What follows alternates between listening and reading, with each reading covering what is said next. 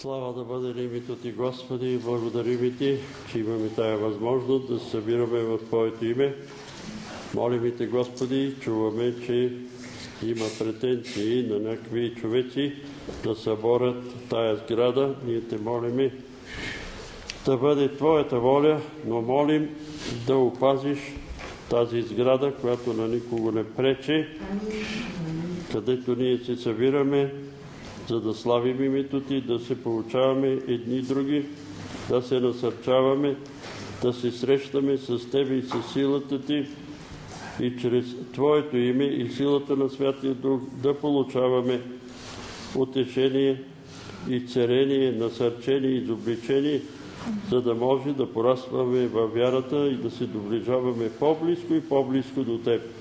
И затова Те молиме сега, Господи, помилвай ни, прости ни каквото Ти съгрешихме, очисти ни от всяка неправда и бъди на нашето събрание с Твоята сила и с Твоята благодат. И ни дай благодат за молитва, благодат за хваление, благодат за говорене и благодат за слушане. И ни дай, Господи, разум да разумяваме и да разбираме писанията и да ги приемаме и да ги запаметяваме, защото в Твоите думи има дух и живот.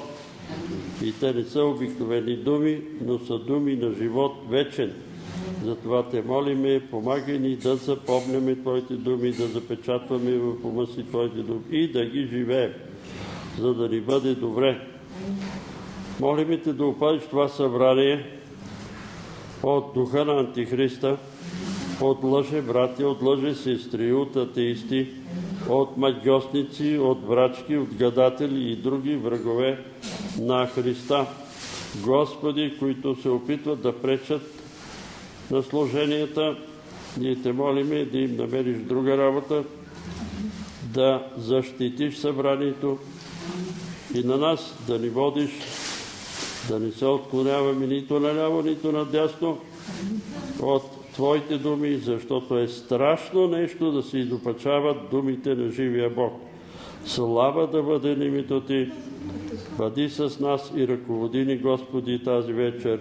Бъди между нас, Души Святи, и с Твоята много различна благодат и както си ни обещал, молим Ти и за небесни видения, откровения, за небесна телевизия.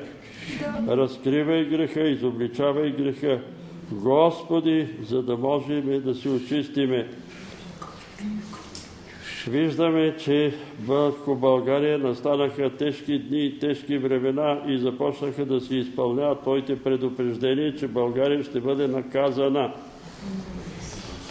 Твоите предупреждения всеки да се помири с братци и да сключи мир с небето.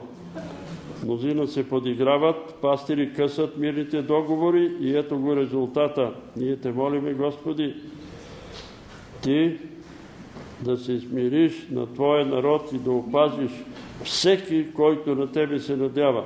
И по времето на това бедствие във Варна, всеки, който е призвал името Ти, извикал Господи, избави го, спаси го, запиши името му в книгата на вечния живот, привлечи го към себе си, Господи, и нека тия бедствия да бъдат за събуждане, за обръщане, за покаяние и за спасение на мнозина човеци. Бъди с нас, ръководи ни и пази ни тази вечер слава, чест и поклон на името Ти. Амин. Така, повядайте, сядайте. Брат Петър, Да. значи преди време се даде, че скоро ще ни бъдем изведени от тук. След това се даде, че тези, които посегна на сградата, жестоко се пострадат. А тук що чух, а, защо беше разрушен последния храм в Иерусалим? Защо беше разрушен последния храм в Иерусалим? Защо? Знаете ли защо? Ами, четете пророк Еремия и ще видите защо. Защото съдята съди за подкуп. Пророка пророкува лъжи. Началника изказва похотливи желания на сърцето си, а свещеника замазва всичките тия грехове с скал. И за това, а след като извършат всичките тия грехове, човеците тичат в храма и казват спасени сме.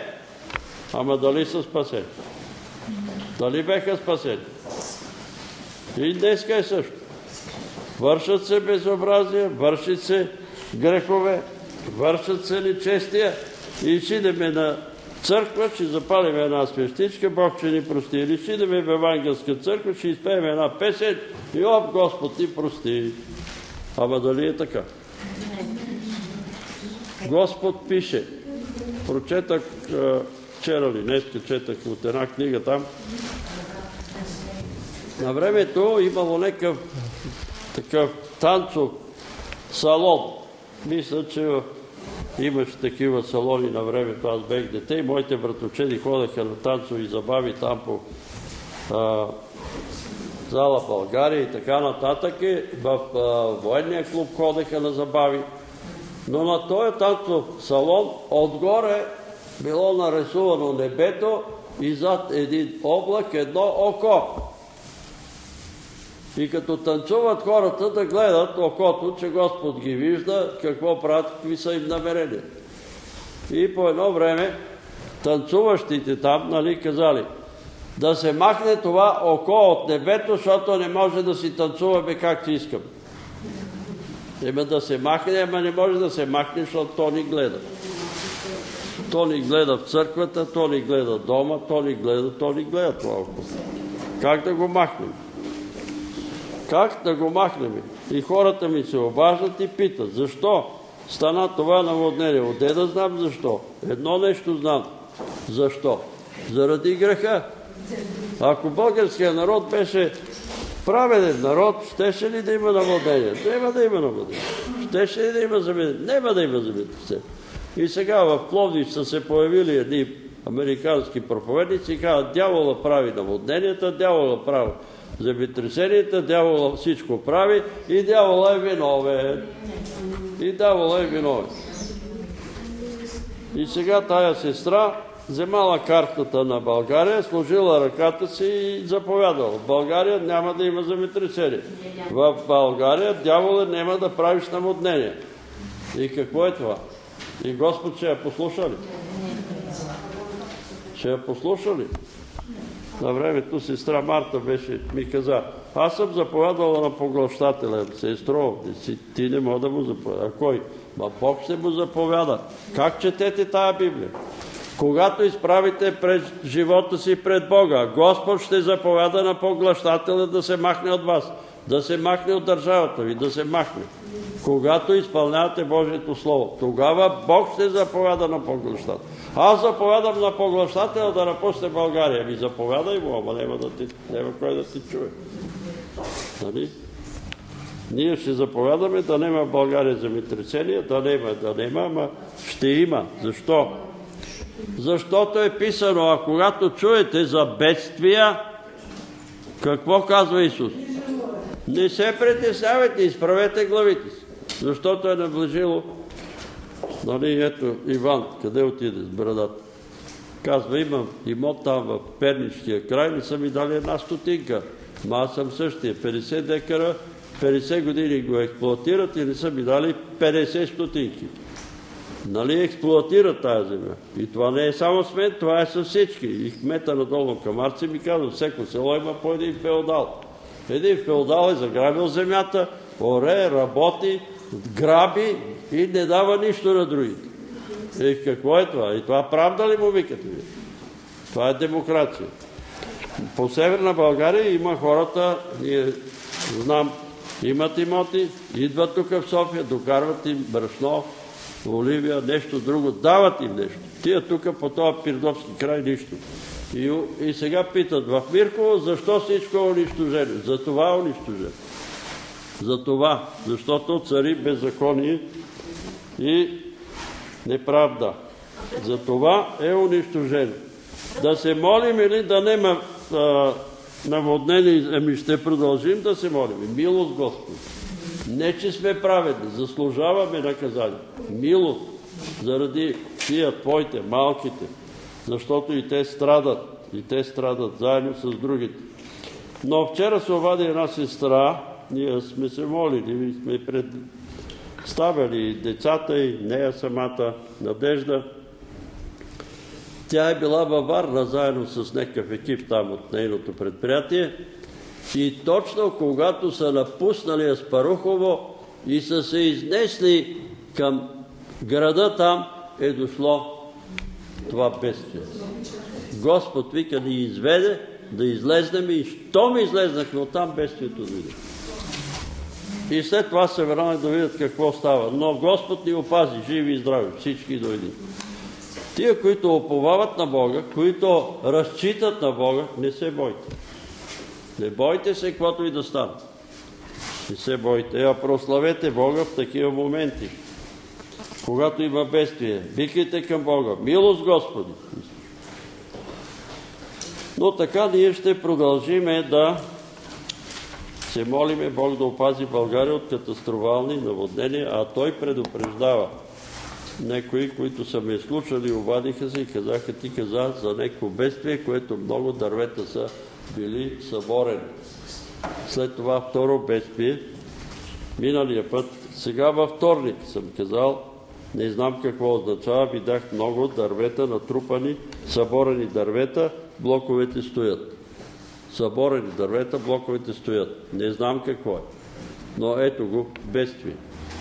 И Господ предупреждава своя си народ да не се страхуваме, да не се паникосваме. Така, сега кажете някой в Бургас има един голям проблем. От храма изкопаха подземен паркинг и храма се разцепи. Буквално и двата кръста от кубетата са паднали. Еми, има проблеми. Има проблеми. Сега, преди около, може би, 40 години, аз четах това едно откровение на една полуграмотна жена от Филиповци. Тя беше пратила едно откровение до патриарх Максим и един служител там в Синода, който беше мой съсед и приятел, папката, той беше ревизор. Той ми го даде да го прочита и там това откровение на баба Павлина от Филиповци пишеше. Ако българския народ не се покае, към България ще има много наказания. Наказанията ще започнат от към морето. Това съм го запомнил. Наказанията ще започнат от към морето. Варна, Бургас, Созопол. Защо? Защото по морето е Содом и Гомор. За това е така. Какво е там по морето? Содом и Гомор. И оттам ще започне. И по-натам пише Сатана изисква България. Сатана изисква България да бъде унищожена. Но светиите, нали така пише жената, светиите, свети Иван Рилски и Васил Левски се застъпват пред Божия престол. За България. Застъпват се. Не знам какво писала е жената, полуграмотно го е написал. За това българи, християни, молете се за България. Молете се да не бъде предадена на Сатана, за да бъде съсипана и унищожена. Молете се за България. И по-натам за баба Павлина пише, аз ще те прибера при мен, ти ще бъдеш спасена, но синовете ти, които богохулстват, ще погинат. Защото има проповедници, които говорят за спасение по наследство. Спасението е лично. Спасението е лично. Спомнете си за Или. Или беше свещеник, а синовете му какви беха? Нечестивци. И умреха в един ден. Така че и синове и дъщери, ако не повярват, освен това е писано там за Йоб, да на Илиной. Вчера ме пита една сестра, има ли човеци, които могат да се спасат със собствената си правда. Има трима. Йов, Данаил и Ной. Тия тримата, никой друг, със собствената си правда. Но допълва отдолу. Но те не могат да помогнат нито на синове, нито на дъщери. Нито на синове, нито на дъщери. Могат да спасат със собствената си права себе. Синовете, дъщерите ми всички ние се спасяваме чрез Спасителя. Господ Исус Христос. Чрез Него. Нема друг начин. Нашата правда парцалива дрипа. Защо беше разрушен храма? В храма също се намериха и идоли. Намериха се и неща, които Господ не одобрява. Брат Петър, искам да кажа едно свидетелство, ако може да ви после, когато вие решите. Какво? Едно свидетелство. Да кажеш свидетелство. Ти ли? Да. Стани и кажи. Искам да. Искам наистина да благодаря на Бога. Това се случи края на миналия месец. Бях в провинцията и трябваше да отида да донеса едно шише с вода. И точно по пътя ме настигна буря. Реших да продължа. И, и странното беше, че като се изкачих по стълбите нагоре, трябваше да мина под едно дърво. И ми беше по-удобно и по-лесно да мина оттам. Обаче не знам защо заобиколих в момента, в Заобиколи. който заобикалях. Чух трясък, обърнах се и видях голям, доста голям плод паднал. Щеше да падне право върху главата. Върху ме накара. Еми Господ те е подбудил да И просто нямам нямам да изразя това, което направи той за мен. И не само тогава, ми стигне времето. Добре.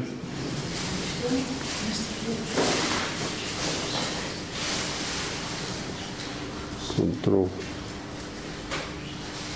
А, холестерол, нисък холестерол. Ами добре, ще се молим. Тук въпрос.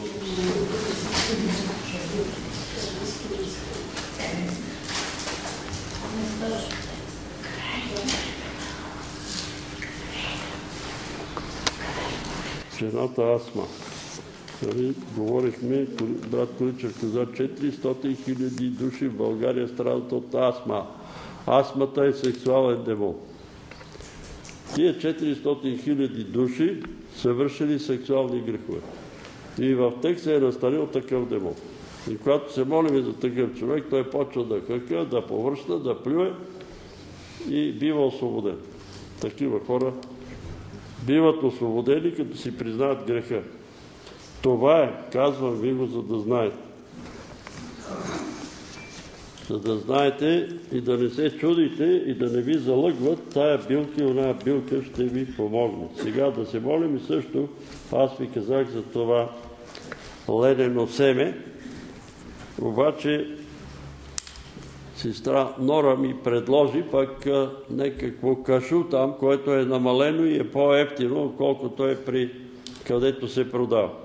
Не знам за какво се отнася, но вчера сутрета чух глас, който каза ефтино е, но е канцерогенно. Да се молиме за това масло, ако е канцерогенно, да не го взимам. Ефтино е, но е канцероген. Може би е се отнася масло. Може и да е за кашут. Не се знае къде, а, къде е било складирано, къде е било облъчено, но е канцероген. А може да минем и без ледено себе и без... Амин. Нали? Може да минем и без тия работа. А щом ни предупреждава святия канцерогенно, бегите. Изхвърляйте го и не го пипайте. А зелененото семе какво? Моля? Зелененото семе какво казвате, че е вредно ли? Лененото семе. Лененото семе. Ами не знам дали за него се отнася, че е лептино, но е канцероген. И ако е канцерогено, за какво ни? И то всичко вече. А е много скъпо, 55 лева едно шишенце в аптеката. Но благодариме на Бога, че Господ ни предупреждава. Добре, върши Бог чудеса.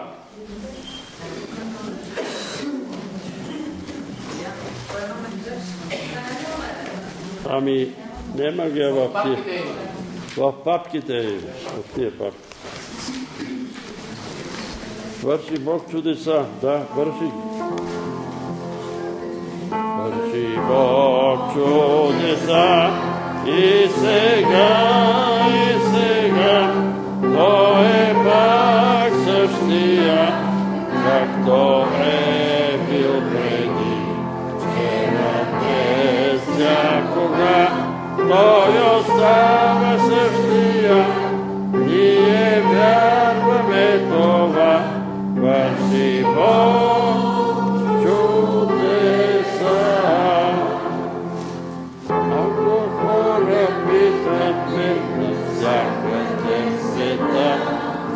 защо не стават чудеса, както някога? Но вярвай днес на тази земя, върши чудеса. Същия, както някога, върши Бог чудеса. И сега, и сега, Той е пак същия, както е бил преди. Вчера, днес, всякога, Той остава същия.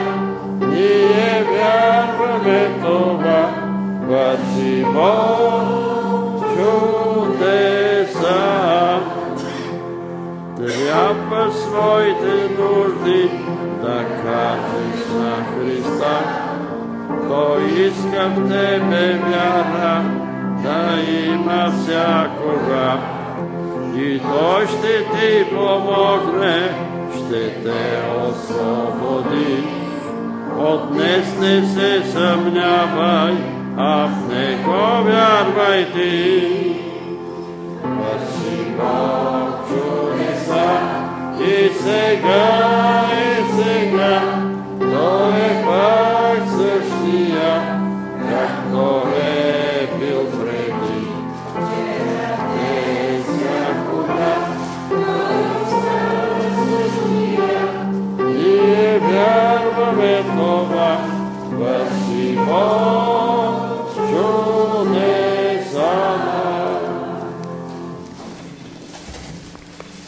533.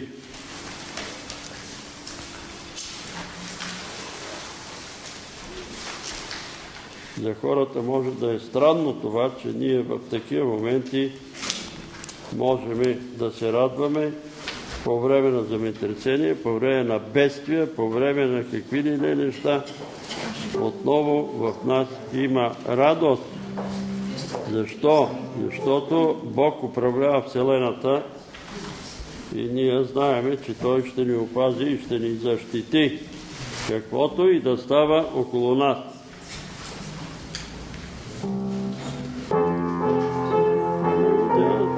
знаят защо се радваме тъй всеки ден.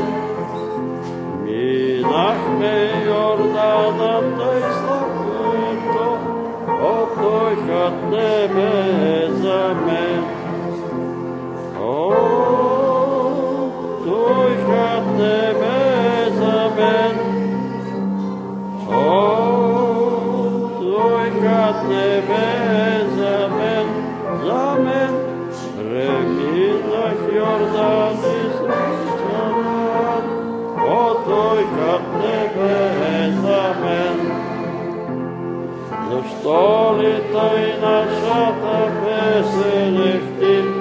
не може разбран не спасен? Бог нас е изпълнил с Духа Свети, о, Той кът небе е за мен. О,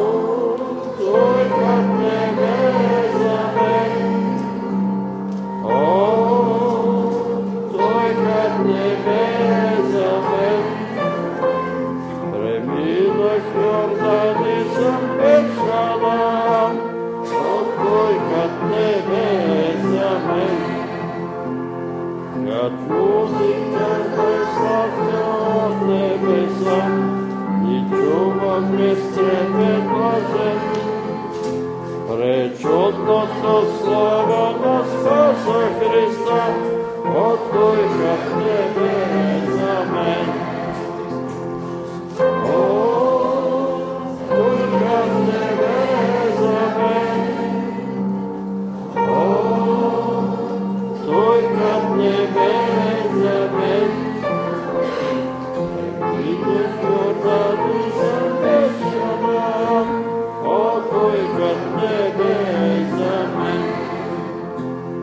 В слава очаквам да видя Христа, на картата беше презрян.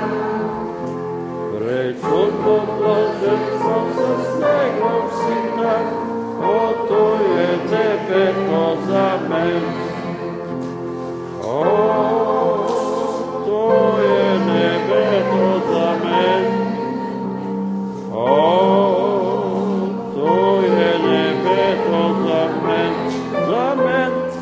Да съм при Исуса с всички свети. О, той е за мен. Дай Боже всички да бъдем с Него.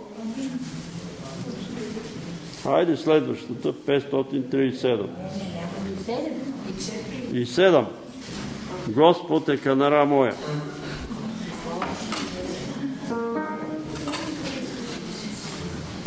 Петстотин Е канара моя, прибежище от бурята, там безопасно аз стоя, прибежище от бурята.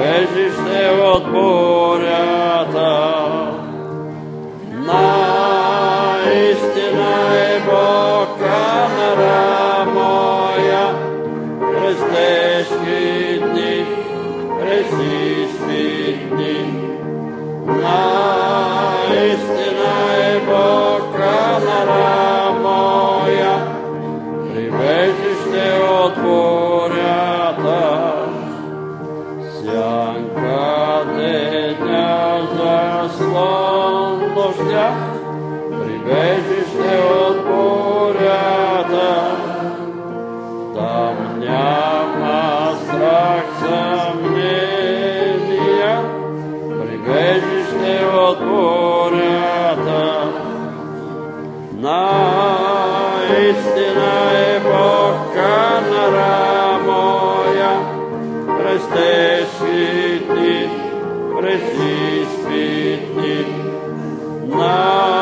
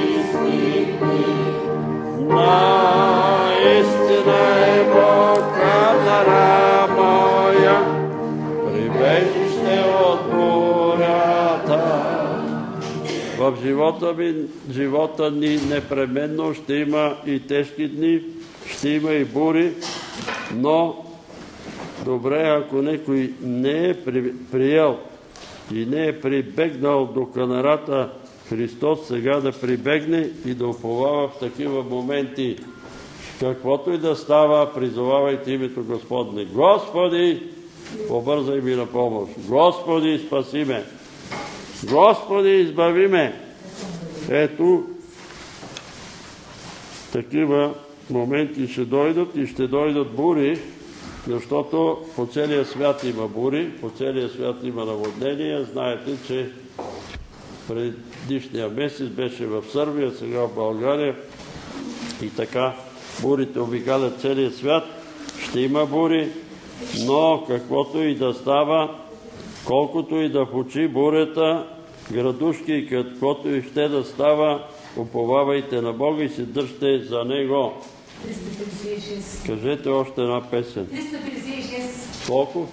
356. 356. Дали я има тук?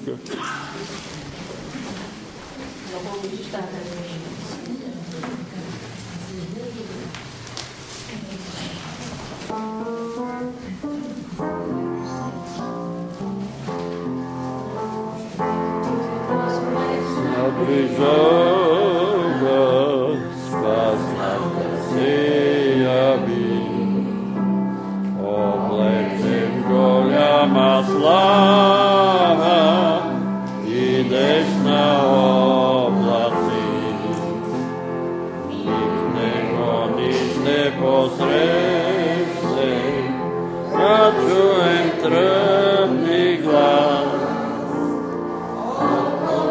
престола ще пеем, слава на наши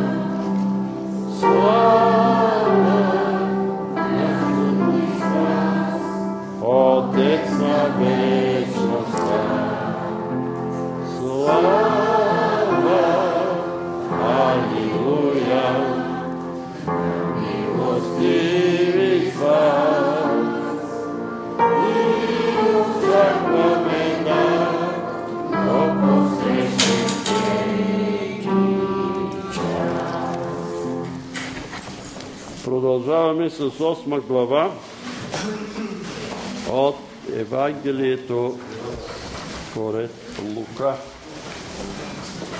Евангелист Лука стигнахме до 19 стих.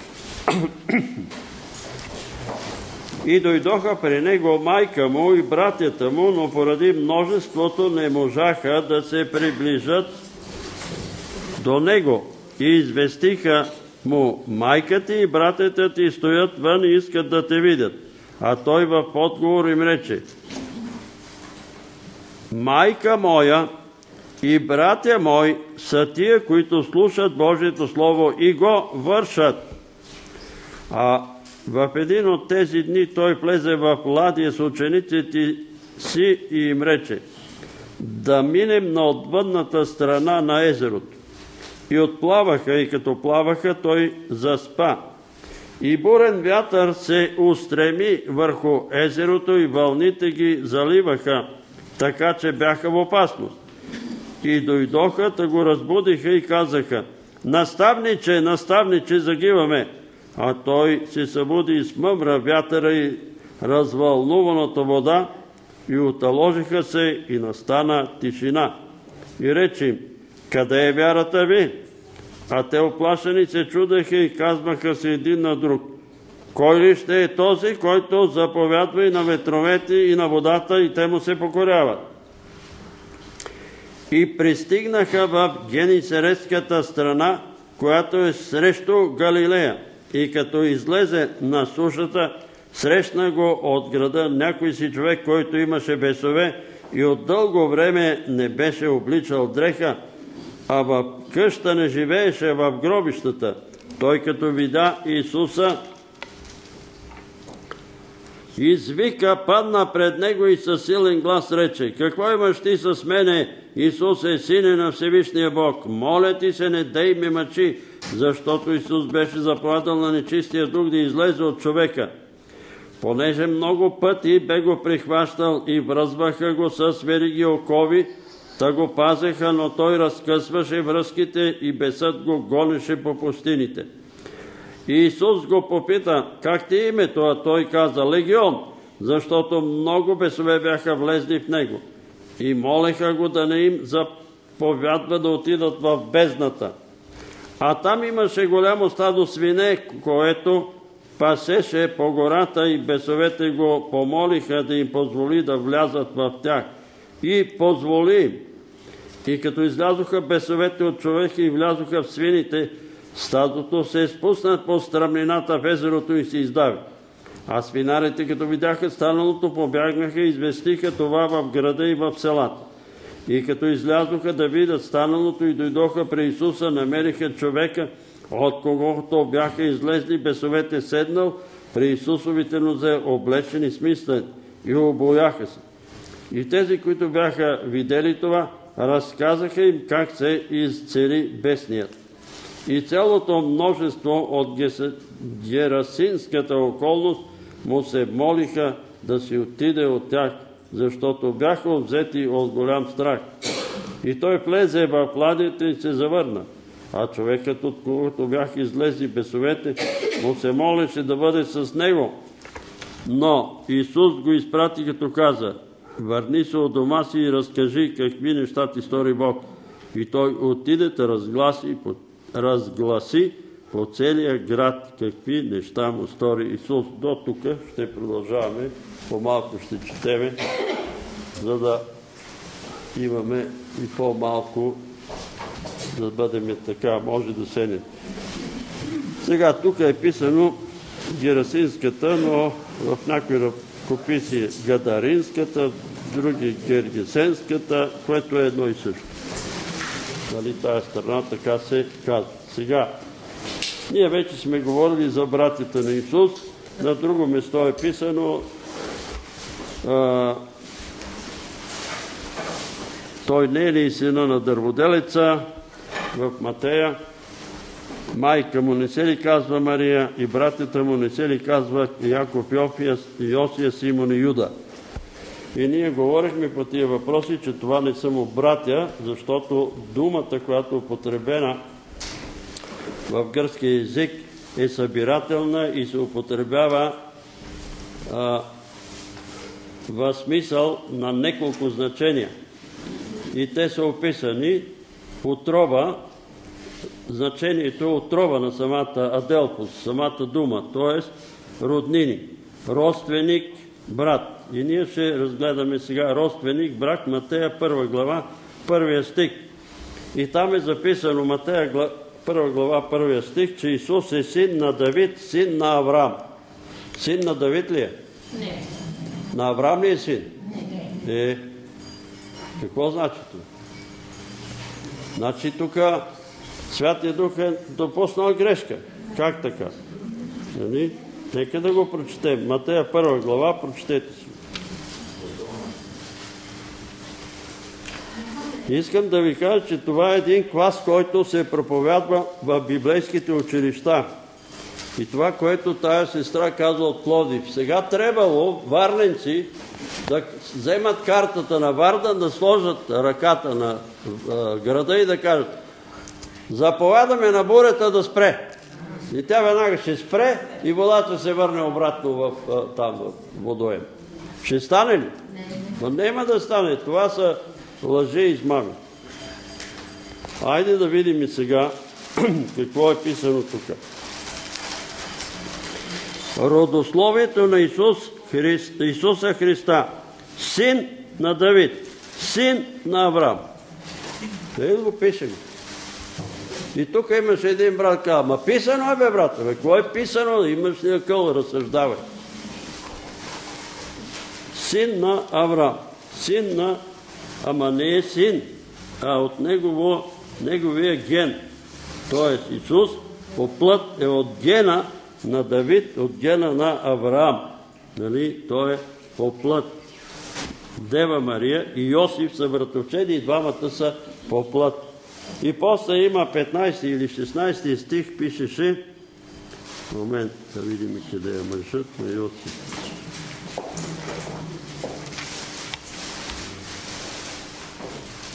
Така, Елезар роди Матан, Матан роди Яков. Яков роди Йосиф, мъжа на Мария, от която се роди Исус. Какво значи това? Йосиф баща ли е на Исус? Който се нарича Христос. И сега тук сестра Здравка ми изпрати един СМС, в който иска да обясниме още нещо. Йосиф като стана от сън и тъй. Йосиф, Бог му говори, не се бой там да вземеш жена си, защото зачнатото от Святия Дух. А тя се намери нали, неплодна. И тогава Йосиф стана от сън, стори както му заповяда ангелът от Господа и прие жена си и не я познаваше, докато тя роди първородния си син и нарече го Исус. И вие как го разбирате, че след това я е познавал? Така ли го разбирате? Вие разбирате ли какво правят преводачите? А сега ще го преведем на гръцки язик, за да видим как е. Да видим как е точно. И тия, тия престъпници по тия библейски училища ще се забудат в ада, които проповядват тия лъжи за братята на Исус. Ние говорихме вече. На кръста беше Дева Мария, майката на Исус, Мария Магдалена, майката на Яков и Йосиф и майката на Яков и Йосия, за които говорят, че са братя на Исус. Тя е съвсем друга Мария.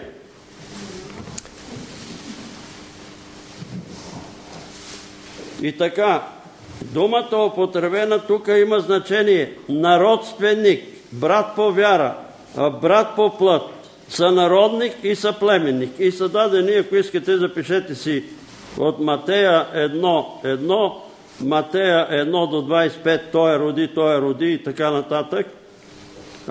по вяра Матея 5, 22, 18, Иоанна 20, 17, сънародник Римляните 9, 3 и така нататък. И сега ще видим пък как е на гръцки точно това изречение. И прие жена си и не познаваше нея. И съюза, който е употребен тук е хеос хе или хеос де. Хеос де. Де е частица за противопоставяне и се превежда а, но, обаче, а, но, обаче, докато. В българския превод тук е преведено докато и то означава съвсем е изменено значението. Ето го на гръцки. И прие жена си и не познаваше нея, но тя роди сина си първороден и нарече името му Исус. Или, а тя роди сина си или обаче тя роди сина си и докато тя роди сина си, ще видите значението му какво означава. Хеосхе означава а той, а тя. Означава но той, но тя. Означава чак до, докато. Чак до, докато. Обаче той, обаче тя. Частицата Д означава противопоставеност. И тогава не може да се употребява заедно с частицата, т.е. се употребява частицата да иначе има друго значение. Един пример. Той я обичаше чак до смъртта си, но тя не го обичаше. Употребен е същия стих, а, същата частица. Или той обичаше чак до смъртта си, а тя не го обичаше. Той я обичаше чак до смъртта си, обаче тя не го обичаше. Той я обичаше чак до смъртта си, докато тя не го обичаше. Разбрахте ли какво значи докато? Противопоставяне. Това изречение е преведено и затова ви казвам, професор, какъв беше там, казва, е пълно с грешки в българския превод. И това дава основание на хората да си въобразяват, че след като тя е родила сина си, те вече са имали сексуална връзка и тя е народила там четирима синове и един куп дъщери. И което е лъжа. И вие, които я проповядате, тая лъжа, сте под прокляти. Сте под прокляти.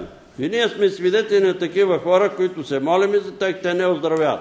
Един от тях е свилен в едно руслинско село и той се обажда парализиран и кога ще оздравя? Никога няма да оздравеш, докато ти проповядваш, че тия Яков, Симон, Юда и Йосия са родени от Дева Мария.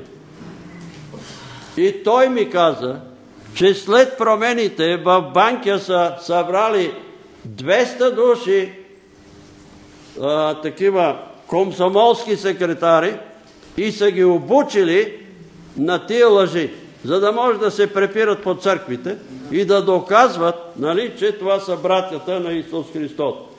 Сега, вие си имате свободна воля и може да си проповядвате, това е ваш проблем, да проповядвате за братята на Исус, че това са негови брата и са ги родила Дея Мария. Аз обаче ви казвам, че ще попаднете под проклятие. И затова внимавайте и внимавайте и знаете какво е писано в Галатяните от първа глава, още от седмия стих. Има някои, които ви смущават и искат да изопачат Христовото благовестие. Но ако дори ние или ангел от небето ви благовести нещо по-друго от това благовестие да бъде анатема. Знаете какво значи анатема? Отлъчен от Христа. Отлъчен от Христа. Затова внимавайте какво благовествате. И престанете с тия е, глупави и невежествени препирни разисквания, като знаете, че те пораждат крамоли. Разбрахте ли ми сега какво е значението? Значението е, че той не я е познавал, а тя е родила. И това е първата глава на Матея. И когато човек вземе първата глава на Матея и чете това, той разбира, разбира още и почва да се чуди как така. Не я е познала, па тя е родила. Във втората глава се обяснява как.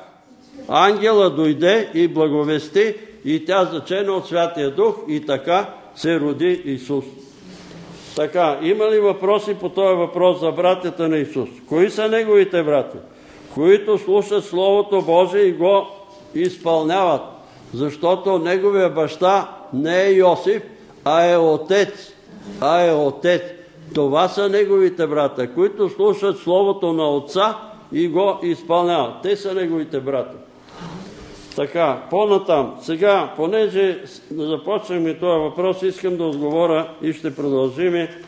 И понеже сестра Здравка ми изпрати още един СМС и казва какво ще каже за образите и за образ. Има ли образи в Новия Завет? Има. Има образи в Новия Завет и те са 28 места е писано за образи в Новия Завет. Докато в Стария Завет е забранено да се прави какъвто и да е образ. Какъвто и да е. Новия Завет има образ. И първият образ е Исус Христос. Исус Христос е образ на невидимия Бог. Може ли да го махнете? Това слово и да го изтрием и да кажа, няма да има образи, защото Стария Завет казва да няма образ. Ама тук пише, че Исус е образ на невидимия Бог. И нека да видим и тия образи.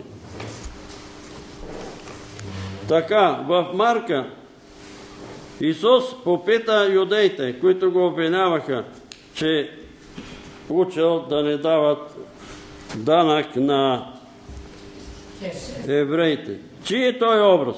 Дадаха му една монета. Чи е той образ? Има ли образ? Да. И какво? Той какво каза? Чи е той идол ли каза Исус? Чи е той има образ? Новия завет има образи. Второ, Лука и слезе върху него Святия Дух в телесен образ. Има ли образ? Видяха ли го? А, Йоанн Кръстител видя ли го? А Йоанн Кръстител беше получил откровение. Той е върху когото виждаш да слиза Святия Дух в телесен образ. Има образ. И сега хората лесуват Святия Дух като гълъб. Ама той не е гълъб. Не се заблуждайте, че Святия Дух е гълъб. Той е Бог. Все могъщ. Но в този момент в образ на гълъб е слезнал. Има ли образ? И той говореше на юдеите. Нито гласа сте му чули на мой отец, нито образа му сте видели. Не са го видели. И не, и не са го и чули. А Адам е образ на кой? На Исус, на бъдещия. Така е записан. На бъдещия. той е предопределен да бъде сходен с образа на сина му, та и той да бъде първороден между много братя. Тоест, той е предопределил Бог ние да бъдем сходни с образа на сина му. С образа му. И сина му има образ. И както сме носили образа на земния, на Адам, както сега сме носим образа всички, ние имаме образа на Адам. Или жените на Ева. Това са нашите образи. Образа така, тъй ще носим и образа на небесния. Кога? Когато това тяло се промени в безсмъртно тяло. То ще се промени в миг на, в миг на око и ще носим неговия образ. И така трябва да се преобразяваме в същия образ, който, бидейки в образ Божий, се понижи себе си, като пре образ на раб. Еме има образ на раб, образ Божий. Който образ на невидимия Бог, роден преди всяка твар, по образа на своя Създател. Филип му рече, Господи, покажи ни Отца и стига ни, казва му Исус. Толкова време съм с вас, не си ли ме познал, Филипе? Не си ли ме видял, Филипе? Който е видял мене, видял е Отца. И ние виждаме в Исус Христос образа на невидимия Бог. И така, в Новия Завет има образ. И сега аз ви питам, имате ли лични карти? Какво е това на личните ви карти? Вашите образи. Защо не ги унищожите?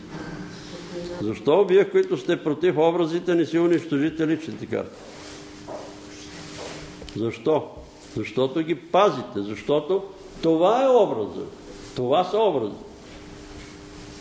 Разбирам, вие ще ми кажете, иконите не им се кланете. Така е, не им се кланете. Ме, там е образа на Исус Христос, на тия евангелски календари и тия образи, като ги питаме, тия какво представляват? Ами те са осветени. А уния, какви са? Уния не са осветени. Уния не са осветени. И сега ние бехме в миналата седмица, бехме в Първомай, там в един дом, идват две сестри и събират всички икони, пърлят и в код за буклук, обаче една я избират за Рождество Христова, защото е по-красива, нали, от едната страна Йосиф, от другата Дея Мария, детенцето в средата и а, тая няма да я хвърляте, а тая ще я осветиме. И как се осветили? Поръсили я с вино и осветили. Знаете ли какво правят тия жени? Проправят си пътя за ада. Страшно нещо е да се изопачава Словото Божие. Пътуват за ада и след това вземали една бутилка вино и казали, това е кръвта вика на Исус. И поръсили къщата, поръсили и двора и казали, двора и къщата ви са осветени.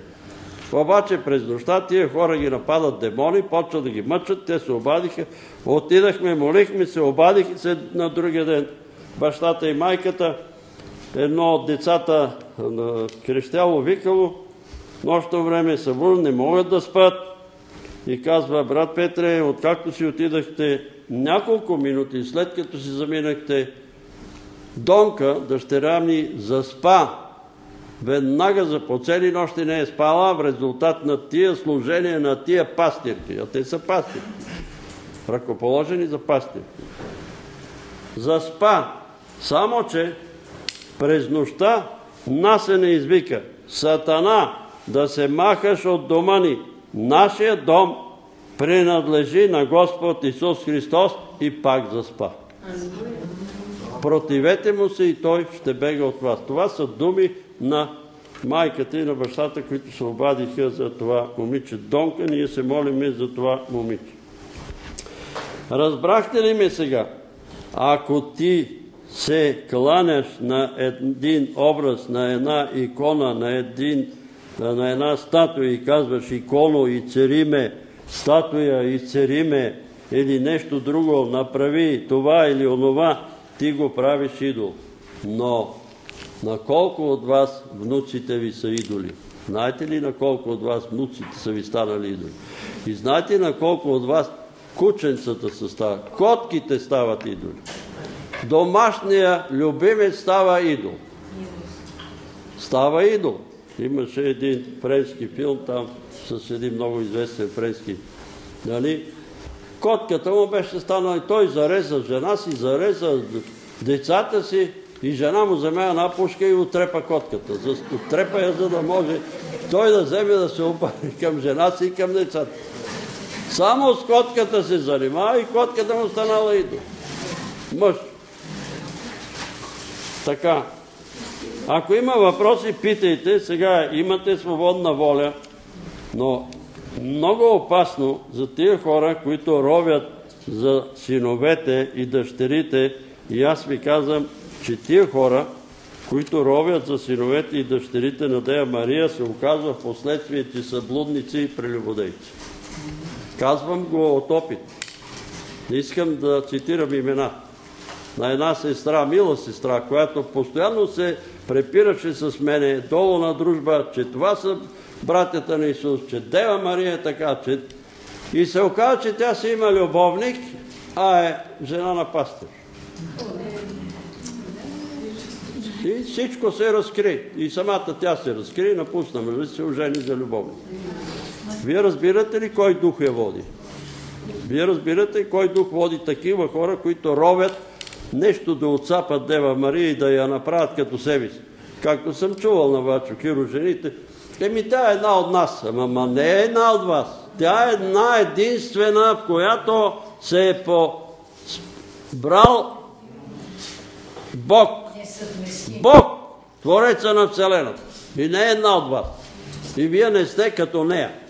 Това е разликата. Много голема е разлика.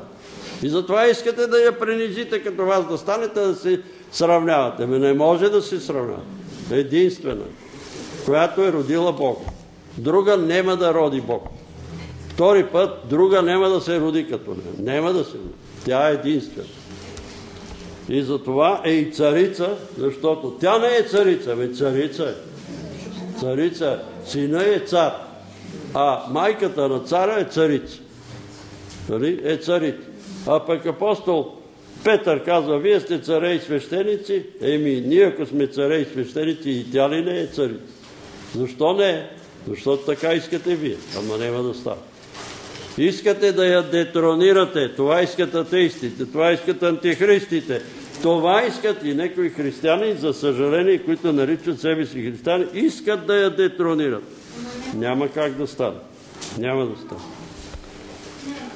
Така, ние ще продължиме по-натам. Така, разбрахме ли се, кои са братята на Исус?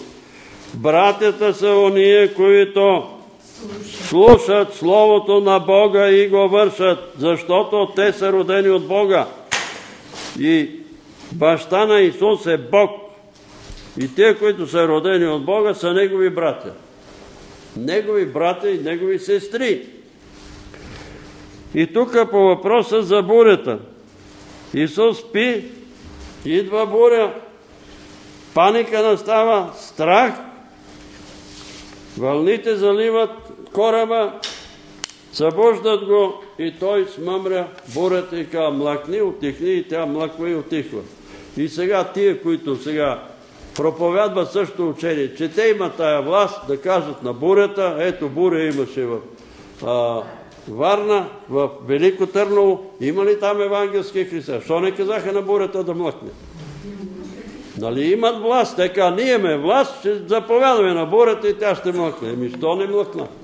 Айде, излизайте, като дойде буря и казвайте, млъквай, заповядвам те. Еми, защото не са синове Божии. Защото на теория са много силни, но на практика са нищо. Като дойдат изпитанието, тогава се вижда какво представлява. Тогава се вижда. И сега, помните ли какво каза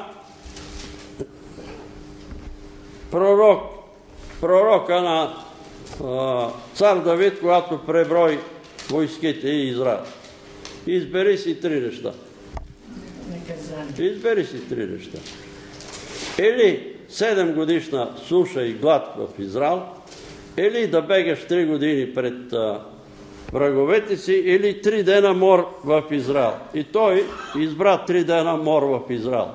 И като започна мор, започна мор и сега Бог прати един ангел, който изтребваше населението. И сега ще стане некой от Израел, ще каже, заповядам ти, спираш този мор. И спираш, ама няма да спре. И когато стигна до Иерусалим, Бог каза на ангела, спри до тука. Само един ден имаше мор. Спри. Кой каза? Бог. Какво си въобразявате вие, че вие сте на местото на Бога и ще кажете на бурята, ще кажете на земетресението, ще кажете на мора спри до тук и той веднага ангела ще ви се покори. Ангел на изтреблението, изтребител. Господ праща изтребител. И той го е създал. Той го е създал. Не е дяволски ангел. Тук не пише, че е сатанински ангел, а ангел изтребител. И тия учители казват, не, всички тия бедствия, всичко това е от дявол. Нали? От дявола. Защото си вадат извод там от а, Йов, че Йов, ама кой разреши на дявола да се докосне до Йов? Кой му разреши? Ми Бог. Бог му разреши. И ние заставаме на местото на Бога и казваме сега, дявол е ти това, ти онова, ама не се получава. Аз те вързвам, дявол, аз те стъпквам, ти си гасеница и да не говорим тук нали, за брат Игнат дойде, моля ти се, моли си за сина ми. Той се опочи срещу нас тук, казал да се горят книгите и черени червяра Бога. Те ги горят, да се горят иконите. Не знам какво да се прави, да се унищожава. И вика, е клекнал в пъгъла спаната, гледа в една точка, ние да ни пие, моля ти се, моли се за него. Защо? Нали е много духовен. Нали е много духовен. И какво направи накрая? Зареди си жената, остави си децата и резултата го виждаме. Виждаме плода, виждаме резултата на такива учители. Писано е, че ще дойдат такова време, като чуете за бедствия, изправете главите. За бедствия, не пише Исус, не казва. Като дойдат бедствия, вие кажете, заповядаме на бедствията да си отидат и да не се докосват до България. Еми заповядайте да видим какво ще стане. Заповядайте да видим как ще стане. Ние може да се молим, опази ни Господи, ама какво да ни опази, когато греха е повсеместен. И сега ми се обажда един ученик, казах от Бургас, и каза, брат Петре, защо станаха тия бедствия тук по морето, по Варна, по Сузопол? Защо? И аз го питам, кажи ми ти защо? Ами защото край брежието на България е станало Содом и Гомор. За това е. За това е. Защото е станало Содом и Гомор. И аз продължавам, преди толкова години, 83-та или 4-та, имах сън, в който ми се каза, ще очиста земята от това извратено и нечестиво поколение. И ще я очисти Господ. Извратено и нечестиво поколение. Днеска шело да има гей парад в София. Абе тия наши управници имат ли акъл, ще докарат проклятие върху София. Ами демокрация. Ма каква демокрация? Тръгнете голи сега от Министерския съвет, защото има демокрация. Излезте от Народното събрание, съвлечете голи, защото има демокрация. Ами има някакви релси, има някакви... Господ ги е дал тия релси, в които да се...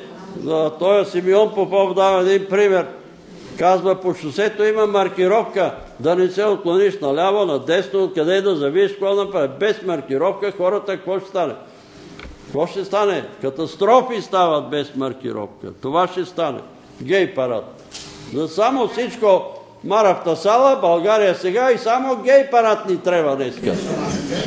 Слава Богу, са му намалили маршрута. Само са му намалили маршрута. Не, искам да кажа нещо в тази връзка. Да. Вчера прочетах вестник и се възмутих и мисля да пиша на омбудсмана. Защото е писал писмо до кметицата и до министра на вътрешните работи да се осигури спокойствие на гей парада и да не им се пречи. Да не им се И пречи. ще му пиша писмо защитава той младежите като омбудсман? Разбирате Няма ли? ли да се срамува, ако неговите внуци прочитат вестници? Много приказваме против а, руснаците, нали? Против Путин, че бил терорист, обаче Путин е казал никакви гей паради в Русия. Никакви. Никакви гей паради.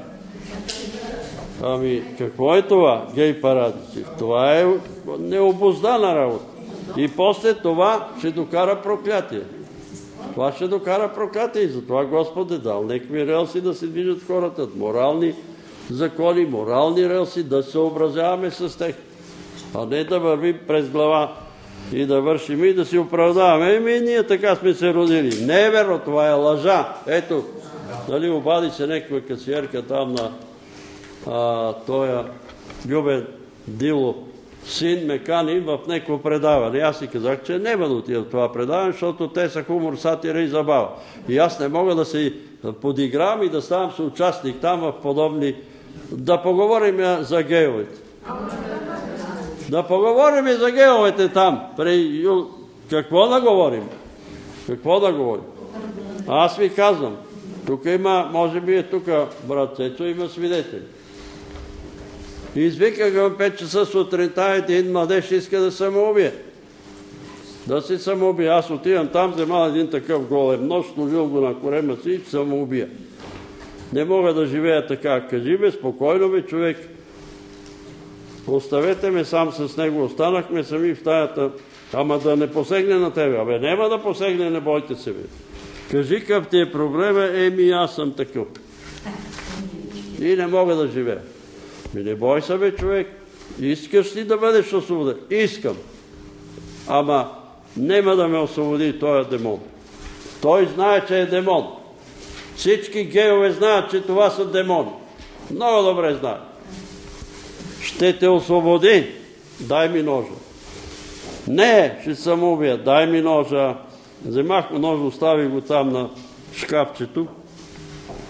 Легни по гръб на леглото. Легнай в името на Господ Исус Христос ти заповядам. Дух на хомосексуализъм. Вън от този човек. Той не те иска. Изкрещя като лъв, сви на кълбо, изпищя. Какво бе? Абе, страшно ме изрита, вика в тестиците. Изрита ме като все едно футболист ми. И се сви вика, болки чувствам, корема, нещо стана с мен. Видях го след един месец една молитвена група. Как си? Нема проблеми.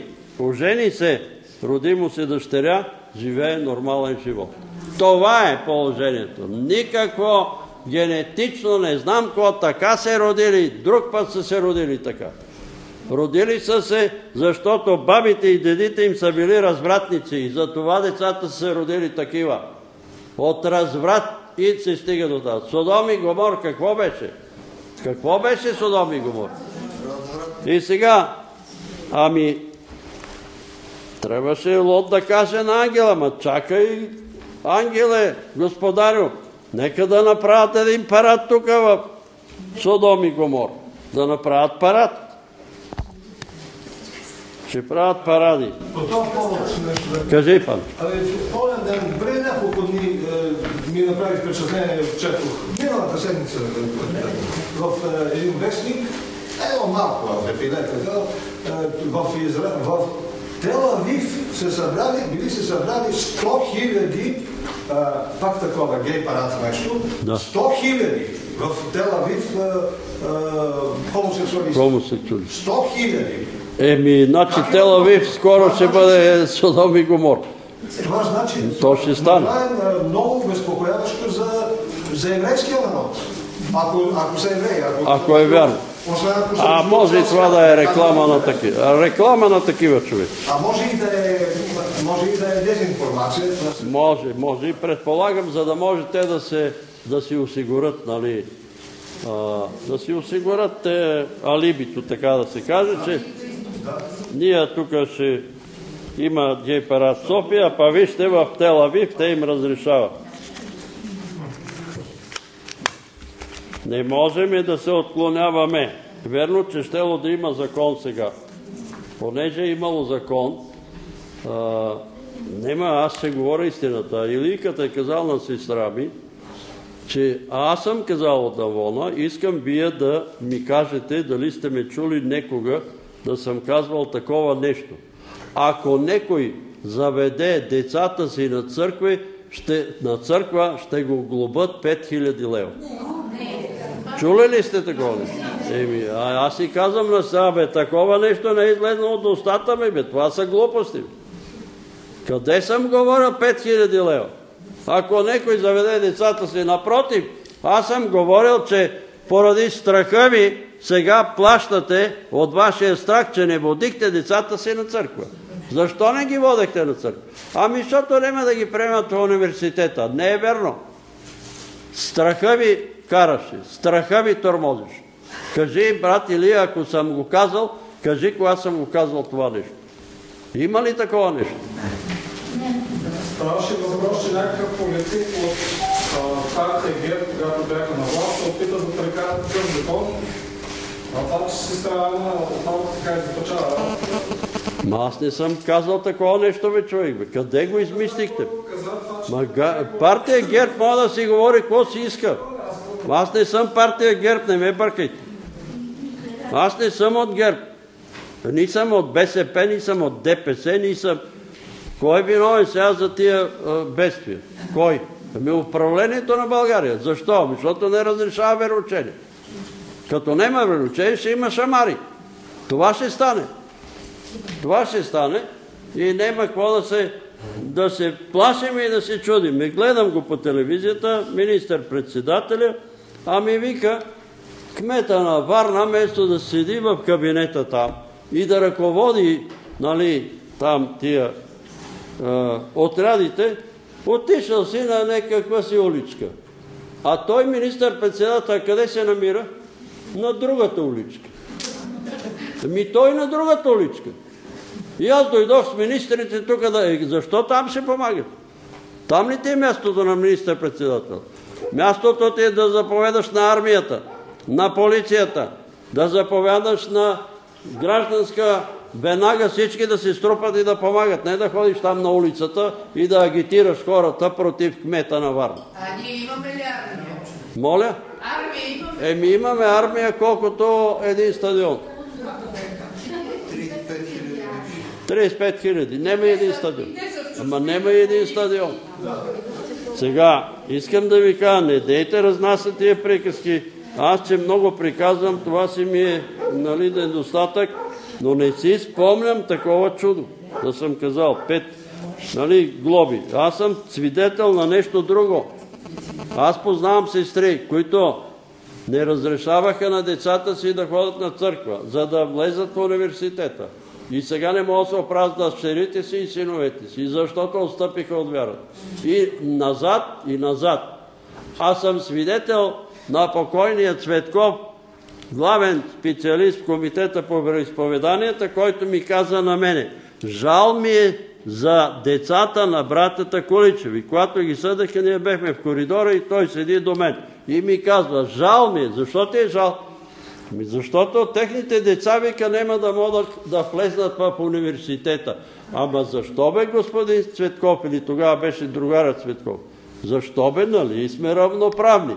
Е, равноправни сме, ама едни са по-равноправни, другите са по-малко правни. Обаче децата и влезнаха ли в университет? Завършиха ли? Завърши. Това е лъжа. Лъжлив страх. Лъжлив страх. И аз съм говорил и продължавам да говоря. Водете децата на църква от малки. Научете ги да ходят на църква. Научете ги да свикнат от мънички. Научете ги. А не да ги пае съкън, няма да ги приемат еди къде си. И като не ги приемат, какво ще стане?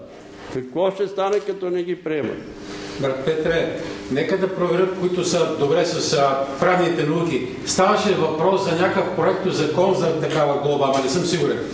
Може да е имало такъв закон за такава, ама това са приказки на тия журналисти. Защо трябва да се занимавате вие с тях? Може да има такъв закон. Може да има да проекто закон. Децата, които водат нали, децата си на църква, ще бъдат глобявани. Как така ще ги глобяват?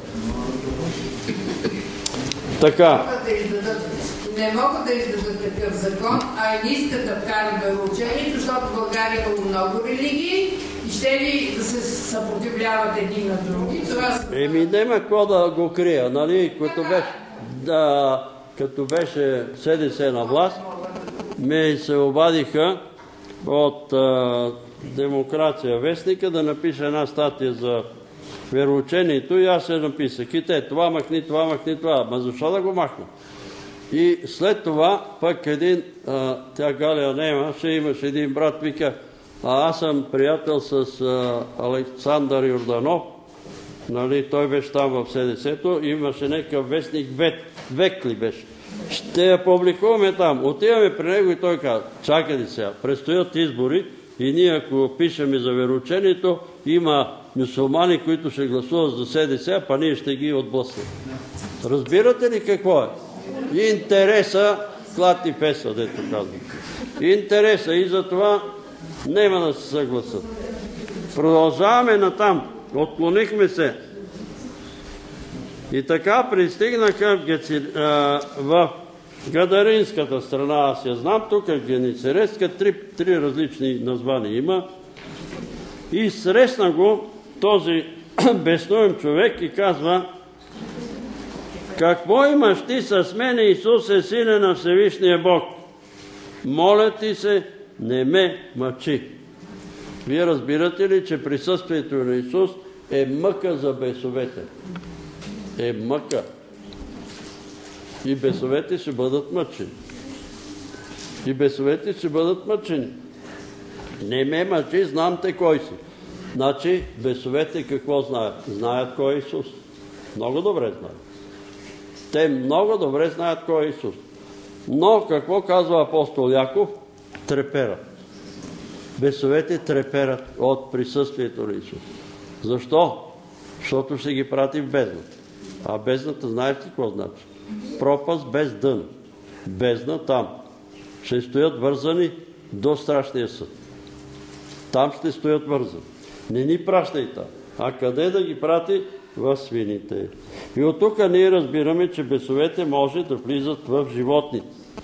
И те влезнаха в сините и той им разреши.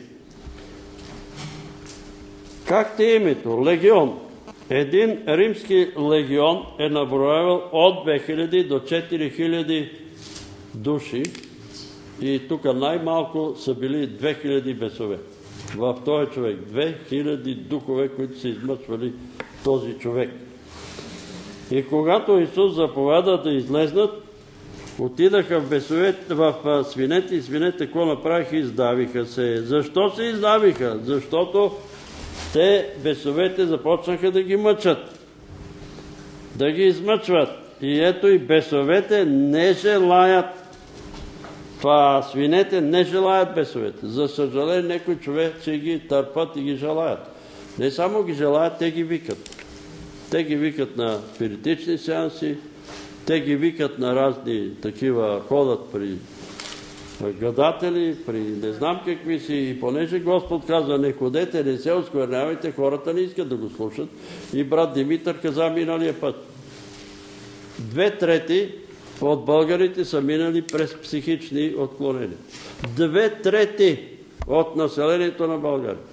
Сега там се чуда защо във Варна. Знаете ли във Варна какво става от Аспаруховия мост? Всека година се, убива, самоубиват маса младежи. Защо се самоубиват? Защото са гонени от бесове. Хвърлят се от моста долу.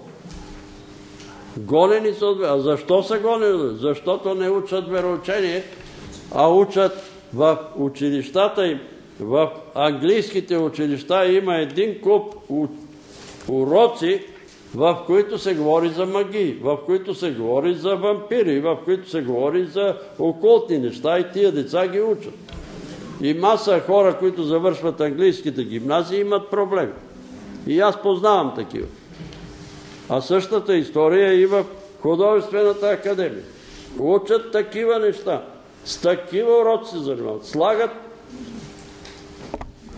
човек, който е психично болен, да го рисуват. И като го рисуват, той ги заразява и другите. И почват автоматично рисуване, автоматично писане и сега се обажда едно момиче от провинцията. Тя се е занимавала некога като ученичка с слага, взима една химикалка и химикалката почва да пише. И това е велика работа. Нали? Логинова, имаше една Логинова от Генералния щаб на България, която с това автоматично писане накара там полковници и майори да копат тук в Царичина и да търсят първия човек, Адам, който е дошъл от друга планета. И добре, че се намери един министър на отбраната, Сталийски, смени се властта и той като научи, нареди да изсипат там. Беха стигнали на 150 метра дълбоко спираловиден отвор. И там от Герман имаше момчета, войници, които пазеха офицерите. А офицери от майор нагоре копат. Копат и с турбите изнасят земята и търсят си къла там. Търсят Адам.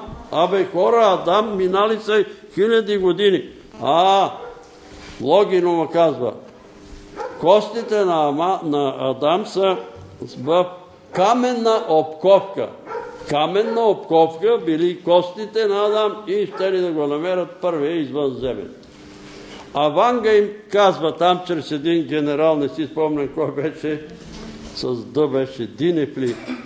Копайте, копайте, още малко има, ще стигнете до стъпалата. И те копат ли копат? Копат ли копат? И Сталински, понеже е християнин Сталински, какво правите, бе? Настанали сте заразил. И нейните писания, автоматично писани, Луджев, пък той беше нещо и той в Луджев, той па намерил връзките, пратили тия писания в Израел да ги разшифрува. Обаче министъра на отбраната казал, не може, защото това е българско България има преимущество, като има тия писания, да ни върнат евреите там на Логинова драсканицата. И маса момичета, момчета, ученици почват, взимат писалката и казват пиши кики, пичи еди кой си и пише. И след това проблеми. След това проблеми в семействата. И това, което го казва брат Димитър, аз го вярвам. Две трети, това не е моя измисъл. Две трети от населението на България са преминали през психиатрични, имат психиатрични проблеми. Каква е истината? Без, бяс, бесове, демони. Това е истина. Никакви извънземни. Това е измама и лъжа на дявола. Никакви извънземни не се лъжете. Има предавания по скат. Сестра ми каза, че имало предавания, които говорили, че е имало извънземни, че те били имали план да унищожат населението на земята, че техният план трябвало да се противопостави и така нататък. И какво да кажем? На Гриша Филипов, сина му, доцент Филипов, имаше негови публикации, че си е говорил с извънземните и че извънземните ще ли да дойдат тая пролет.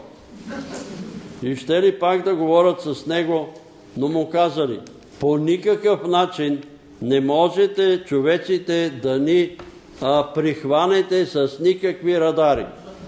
Еми не могат, това е истина. Тук са казали истина. Защото дявола моли да бъде прихванен с радари. Ми не може да бъде прихванен. Кой говори на доцент Филипов? Дяволите му говорят, това е истината. Говорят му бесовете. И после, утре, като се случи с него, ще кажат, враговете са го повредили. Знаете ли каква е последната версия на учените? Каква е? На учени. Човек е произлязъл от НЛО. От НЛО е произлязъл. Това не за първ път го чувам. Е, а има нещо друго. Сега ще правят курсове за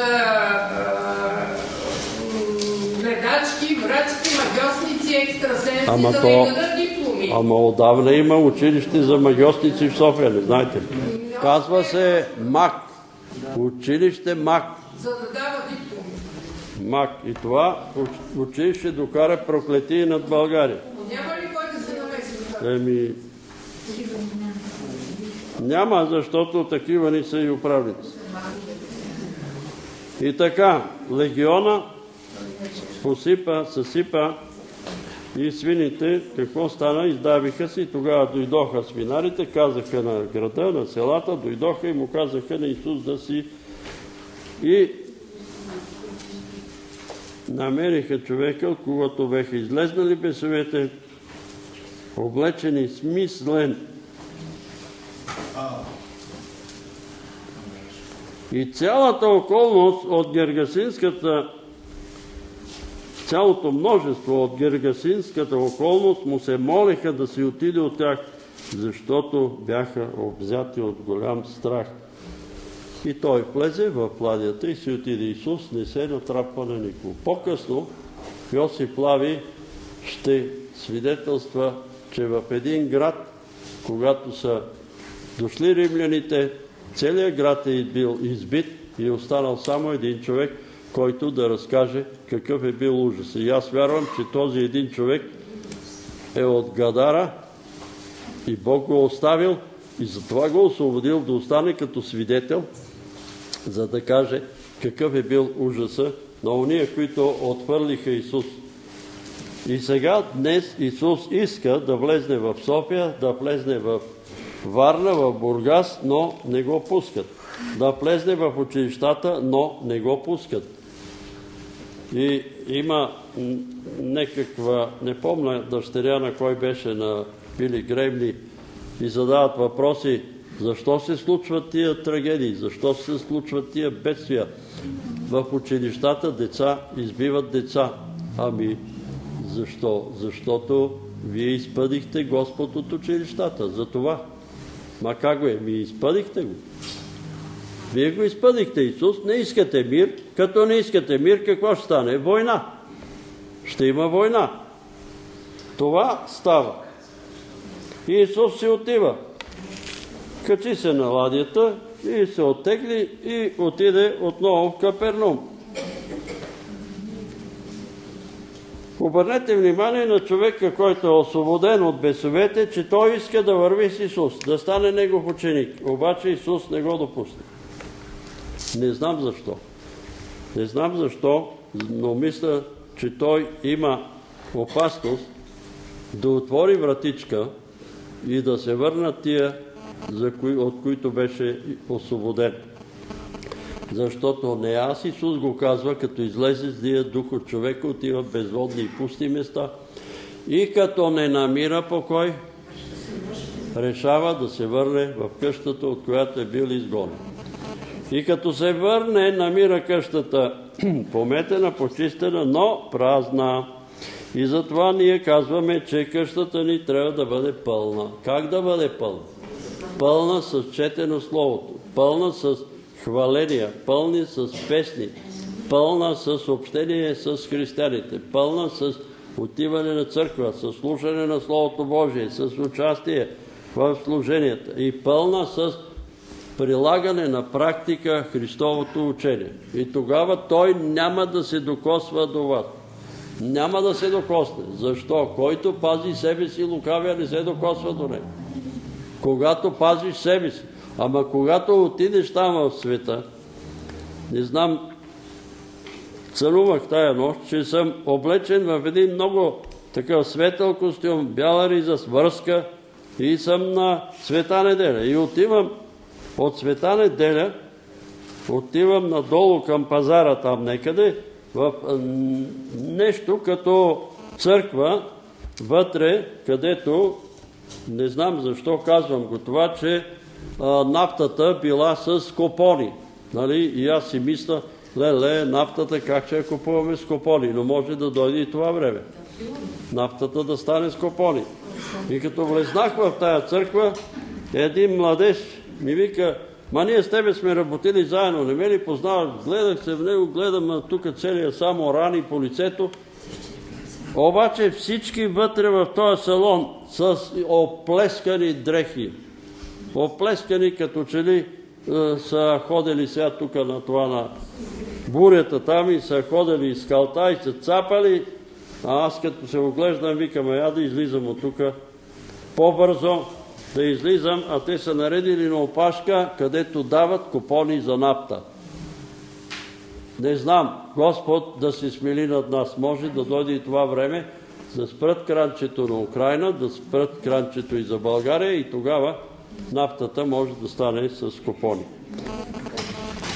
Господ да се смили над нас. Какво трябва да вземем пример от това слово, което прочетахме? Аз го говоря с пълното съзнание, че Дева Мария не е имала никакви синове и никакви дъщери. Ако тя имала синове и дъщери, Исус от кръста немаше да каже на Йоанн, ето майка ти. И той я взема при нея. Жено, ето синът и тя отиде при него и докато беше жива, беше при Йоанн. Ако тя имала дъщери, айде, синовете не са били вярващи. Защо? Второто, кой може да командва и да нарежда на природните стихии? Кой? Ами той, на когото е дадена всяка власт на небето и земята. И сега са дошли тия проповедници в Плодив и казват, забранявам да има земетресение над България. И какво ще стане? Вие вярвате ли го, че като каже една жена там и то няма да има земетресение? Когато Божието Слово казва, силите небесни ще се разклатят, ще чуете за много бедствия, ще чуете, ще дойдат бедствия. Ма ние казваме, Господи, няма да, да има бедствия. Ние ще наредиме така, че никакви бедствия да няма. Но няма кой да ви чуе, бе, хора. Нема. А когато дойдат бедствията, Исус казва, изправете главите. Наближило е вашето избавление. Когато дойдат бедствията. И ще има бедствия, и ще има земетръси. Така е писано. Земетръси. И хората ще премират от страх. Ами ще премират, защото не искат да се покаят. Не искат. Искат. Какво искат? Искат материални блага. Какво иска човека материалист? един разказ четах за един младеж На един човек. Като бех младеж, мечтах да имам ръчен часовник. Е хубаво, баща ми купи ръчен часовник. Аз също мечтах да имам ръчен часовник и първата ми заплата си купих часовник. А втората, толкова ни бяха големи заплатите, взимах 48 лева заплата, един часовник беше 70 лева и трябваше да още малко пари да си купят ръчен часовник. Аз втората заплата си купих един шлифер. Още си го паза на село за спомен. Един шлифер си купих с втората заплата. И този човек искал да има нови дрехи. Има нови дрехи. След това се влюбил в едно момиче, искал да има семейство. Има семейство. След това искал да има апартамент. Имал апартамент. Добил се и с апартамент. Чакал 20 години и накрая получил апартамент. Обаче комшията има кола. Мечтаех, вика за кола. Ето ти и кола. Събрах пари, купих кола. Ама комшията па има и вила. Еми добре, трябва да имам и аз и била. И здобил се и с вила и това е целият му живот. И сега на къде? И той го пита, нашия брат, е, какво щастлив си? Еми, какво? Това ли е щастието? Да имаш часовник, да имаш лека кола, апартамент и вила и после. А после до 60-70 години. И за това ние говориме, но няма кой да слуша. Пак ми се обаждат сега да се молиме за дъщерите им, за внучките им, за внуците им, че утре са на изпит и други ден са на изпит и те трябва да вземат шестици и те трябва да успеят да станат доценти и не знам какви си. Добре, че станат и после. И после. Какво ще стане? Ще придобиете висше образование, второ висше и така нататък. И не знам дали ни чувате вие. Светското образование. Светското образование. В България образованието е светско. Официално училищата, университетите учат светско образование. И то е необходимо само за този живот. Само за този живот. А духовното образование, а духовните знания са необходими за вечния живот. И защо вие, мили баби и дядовци, ми се обаждате по телефона да се молим за внучките ви? А нито една баба не се омоли и не ми каза, брат Петре, моли се за моята внучка да се укрепи, да се стабилизира духовно. Моли се за моята внучка да познае Библията, да познае истина, да познае Исус. Защо не ми се обаждат такива баби и дядовци? А само светските ова, да вземе шестица, да стане доцент, да стане професор и какво като стане? Какво като стане? Ще стане атеист, материалист и загуби душата. И за това говорим и повтаряме вероучение в училищата. Кога ще спрат бедствията? Първа точка – вероучение в училищата. Тогава ще спрат бедствията. Когато почнат да учат децата на ум и разум, на страх Господен, и тогава нещата ще се променят. До тогава ще ги гонат бесовете. Това е истина. Ще идват, ще плачат, ще искат да се молим за синовете им, за дъщерите им, за снахите им на брат Иван, снахата, Йорданка. И нея върти такъв демон. И тя се хапе ръцете и какво е това? Други искат да се самоубиват. Едно момиче се самоубило и писало в пресмъртната си та писмо, написало опитах всичко в този свят. Опитах всичко. От всичко съм разочарован. Реших да опитам и самоубийство. И се самоубил. И се самоубила. Накрая. Нали? Е, материално е добре. Защо посяга на живота? Защото материалното няма да ни донесе удовлетворение. Не можем да намериме мир, докато не намериме Господ, докато не намериме Божия дух, докато не намериме Божия мир в душите си. И тогава настава мир, спокойствие, радост и живота има смисъл. И тогава почваш да се радваш на Божите творения. Радваш се на всичко, което около тебе. И така, Нека, ако срещнеме такива човеци, да им кажеме, ако и между нас има такива човеци, да им кажеме, спасението ти е при Исус. Ако Исус те освободи, ще бъдеш наистина свободен. Не разчитайте на мен. Разчитайте на Исус. Ако Исус те освободи, ще бъдеш свободен.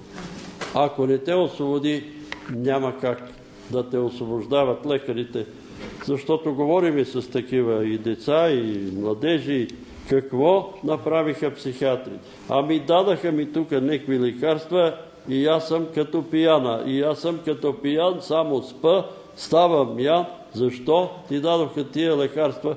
Ами да не буйствам. Излекуваха ли те? А, нема да ме излекува. Защо? Защото дух, бяс, с лекарство, с билка не излиза. Той не излиза. Той излиза само в името на Исус. Само в името на Исус. Повтарям този случай. Един ден бехме на църква, на 50-та църква. Пристигна една красавица по бански костюм, отиде до Албона, кърши се та. Баба Мара я пресрещна и казва, като вземе една пръчка да те нажуля мръсници, такава влезнала си в Божия дом, да оскверняваш Божия дом вън. Тя изгледа така високомерно и бавно си излезе. Обаче баба Мара дойде при мен и седна до мен. Петьо, абе Господ ми проговори. Какво, баба Маро, ти каза Господ? Бяс с пръчка не излиза. Бяс с пръчка не излиза. Явно тази жена е била обладана от сексуален демон и влиза в църквата да се покаже каква е красавица. И сега миналия път ви казах, питат ме да отида ли на море. Ами това си е твой проблем. Какво ще правиш на море? Да си показваш красотите. Нали? Това е главното. Па после другата лъжа е, че като си изпечеш на слънце, през другата година няма да си болен. Ама аз познавам такива приятели, които всека година са на море и всека зима са болни. И всека зимна са болни. Сега, като ученик, почнах да мрънкам на баща ми и викаме, моите колеги отиват на море, и аз искам да отида на море. Той вика, какво море бе? Дедо ти не знае къде е морето, па жива вика над 100 години. Какво море? Ти какво мислиш, тия като идат на море, вече ще бъдат здрави? Съгласен съм, че сигурно баните, водните там, с солената вода, имат някакво значение. Не го отричам. Не го отричам. Имат някакво значение. Но главно отиването на море не е заради бани, а то е за друго. И ние знаем защо е. Една сестра ми се обади, питай Бога дали трябва да отида на море миналата година. И аз попитах, Господи, да отиде ли на море? И ми се дава видение, че тя е на брега на морето, слиза по едни стълби, пада и се удави. И аз си го казвам. И тя замина на море. Питате ме, вие разбирате ли какво правите? Питате ме Господ да каже. И Господ казва и правите обратното на това, което Той казва. Защото вие мислите, че Господ отида, иди на море. Отиде и се върна оттам бремен. И си съсипа живот. Това отиде, за това отиде на море. Това е истина. Е, тя и тук може да забремене, нали? Не казвам, че тук е невъзможно. Но защо отиваме там? И за това ви казвам. За това Ама нали, вика и във Велико Търново, там не е Содом и Гомор, па и там ги зале. Ама там има други грехове. Причината е греха. Това е истината. Греха е причината за тия бедствия. И ще дойдат тия бедствия. Бог не може да ни търпи вече. Не може. Не може. Сега не знам дали разбрахте, в Албена два хотела са се наклонили да падат. Ама тия хотели как са ги направили? И с какви пари са направили? Целото Черноморе го натъпкаха хотел до хотел. Ами Господ ги вижда. Господ ги вижда. И на каква почва? Един хотел гледам там като Министерския съвет. На времето, преди 5-6 години или повече. Бе, викам, какъв е това хотел, бе? Чи е това хотел? Ами, на министъра на финансите на брат му. Не на финансите, а на брат му. Е, откъде взема толкова пари, бе? То, е грамадна работа. Те си знаят. Обаче трябва да знаят, че отгоре има едно око, което ги наблюдава и вижда всичко. Вижда хотелите, вижда на каква почва са построени, вижда беззаконията и иде видов ден. Иде видов ден. И ще се види всичко. Всичко. Добре. Сега ще се молиме ако имате въпроси, казвайте. Ако не сте съгласни, кажи брат. Не не съгласен. Въпросът е беше за този стих. Той Иоанна 8 глава казва, ако синът ви освободи, ще бъдете наистина свободни. Значи Господ казва ако, но това ако от човека ли зависи или от него зависи? Защото това става въпрос за освобождение от греха. Ти как мислиш, брат? Аз мисля, че той иска да бъде свободни. Защото умря на кръста на Голгота, за да бъде свободни. Ама това ако е, защото аз трябва да направя това, което той иска. Така мисля, не знам. Аз обаче мисля, че от него зависи. Защото човека много работи може да иска и Господ да не му ги даде. Защото едно дете може да иска баща му да му купи а, картечница. Баща му ще му купи ли Ти ще взими, Димчо ще, той Панчо ще купиш ли на Христо картечница. Ма нема да му купи. Некой път и ние искаме некои работи, които не знаем какво искаме. Искаме дарба на пророчество. Маса хора вика, Господи, дай ми пророчество. Защото тук пише, копнейте 14 глава, Първо Коринтияни. А повече да пророкувате. И хората, дай ми пророчество. И Бог му каже, сега иди кажи на оне полицай да се покаже. А, как ще я да му каже? Ама нали това е пророчество? Диеш да кажеш на хората да се покаят. Диеш да кажеш на президента, на министър-председателя да се покае. Пророк Натан какво направи? Отиде при цар Давид и му каза да се покае. И той се покая. И той се покая. Искаме някои работи, което Господи, това, което за мен си определил, това да бъде. А не ти да определяш какво искаш. Но за освобождаването Господ иска да ги освободи. Но Той казва, защо не, ги, не се освободи. Защото не искат да дойдат при Него. Те искат друг да ги освободи. Те искат Петър Велев да ги освободи. Или Количе да ги освободи. Или Илия Миланов да ги освободи. Не искат да дойдат при Исус. Не искат да дойдат при Исус. Или някой друг да ги освободи. Или някой светия. Или който и да е. А при Исус не искат да дойдат. Ама защо не искате да дойдете при Исус? Ами защото сме гузни и ни е срам. Ама какво ви е срам? Той казва, дойдете при мене всички отрудени и обременени, аз ще ви успокоя. Нема какво да ви е срам. Той знае всичките ви, ни знае всичките кирливи ризи. Какво има да ни е срам? И му казваме, това е, това е, това е. Това е положението. Добре. А, Кажи, брат Павчо. а, Там в текста, който разглеждаме, нали, демоните а, се помолиха на Исус Да отидат в син. да, а, да не ги праща в бездната. а, нали, в свини. не си спомням, те не поискаха или той, Господ Исус. Духа, духа, демоните поискат. Но а, значи ли това, че като, е изпълнява, като е изпълнил молбата им по този начин, че се е умилостивил над демоните? Ами, ви сега, Възниква този въпрос. А, Защо? а, да, да, възниква този въпрос, че им е показал малко милост, А, да, ама, за да не отидат в бездната.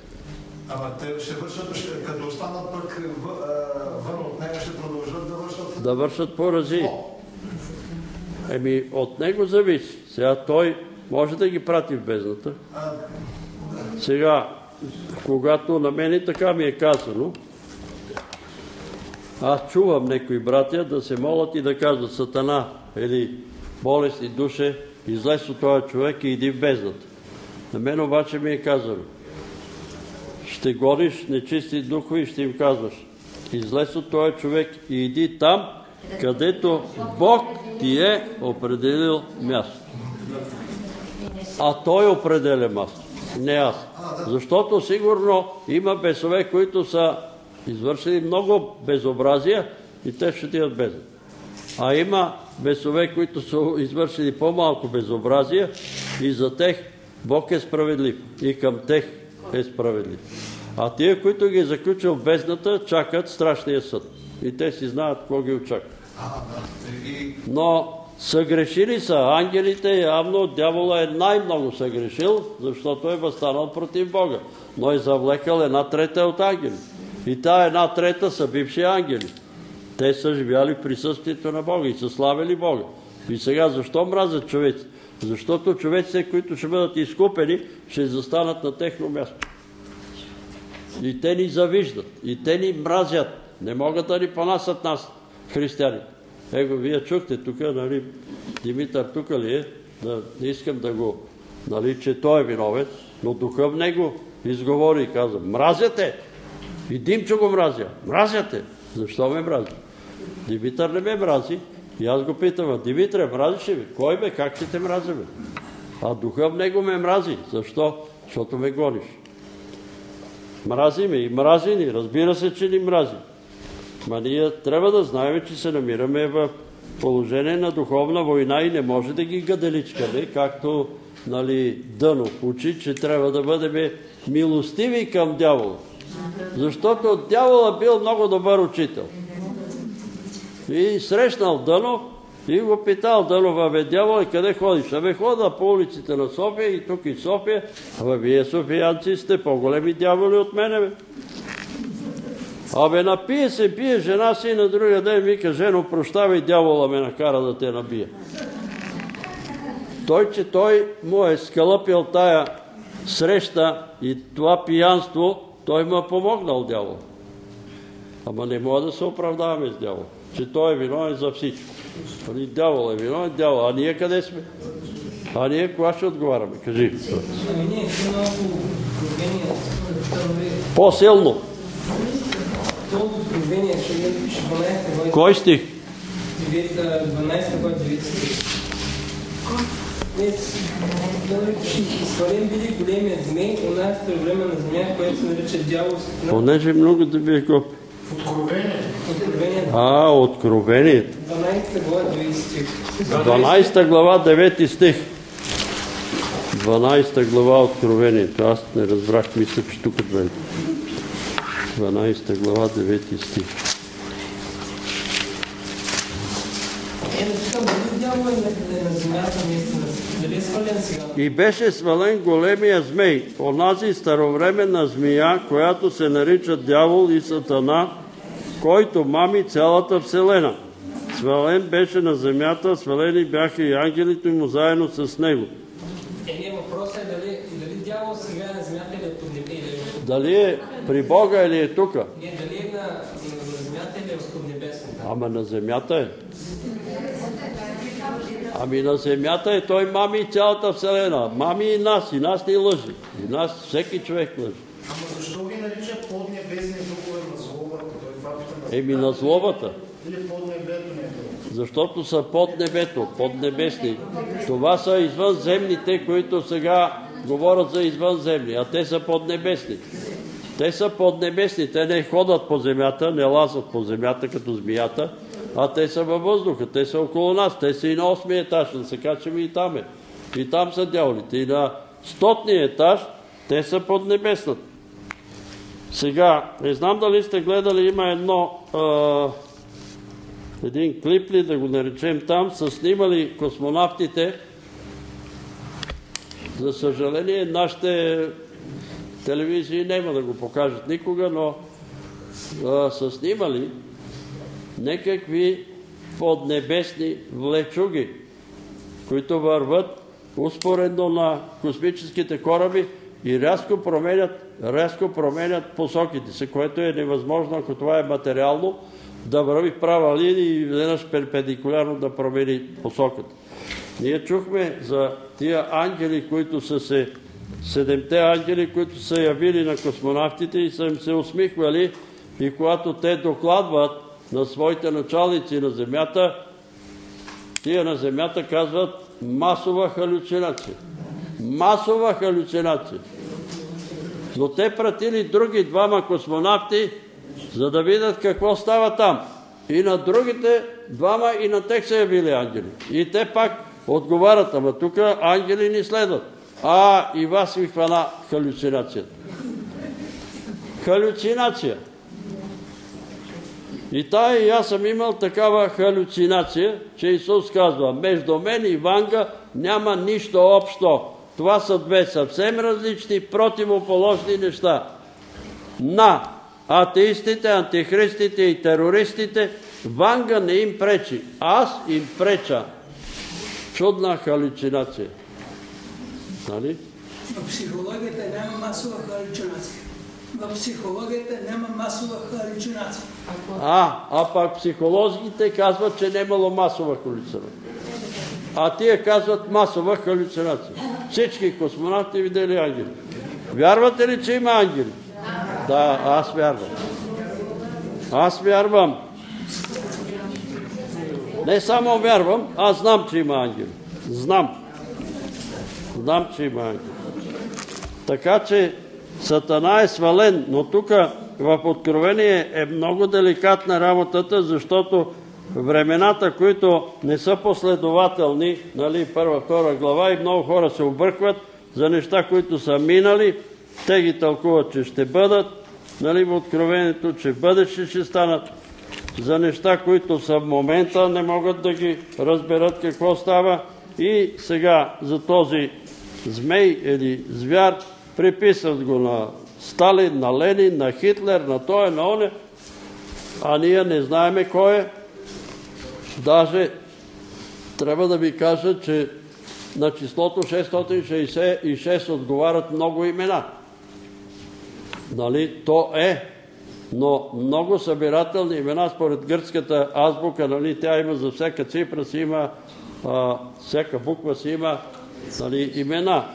И може да се заблудите. Па и не ни трябва на нас да го знаеме кой е сега. За какво ни е на нас? За какво ни трябва аз да знам кой ще бъде този антихрист? Но явно още не е дошъл. Защо той трябва да бъде господар на цялата земя? Евреите трябва да го приемат, защото Исус казва, не го казвам аз. Аз дойдох в името на Отца, вие не ме приехте.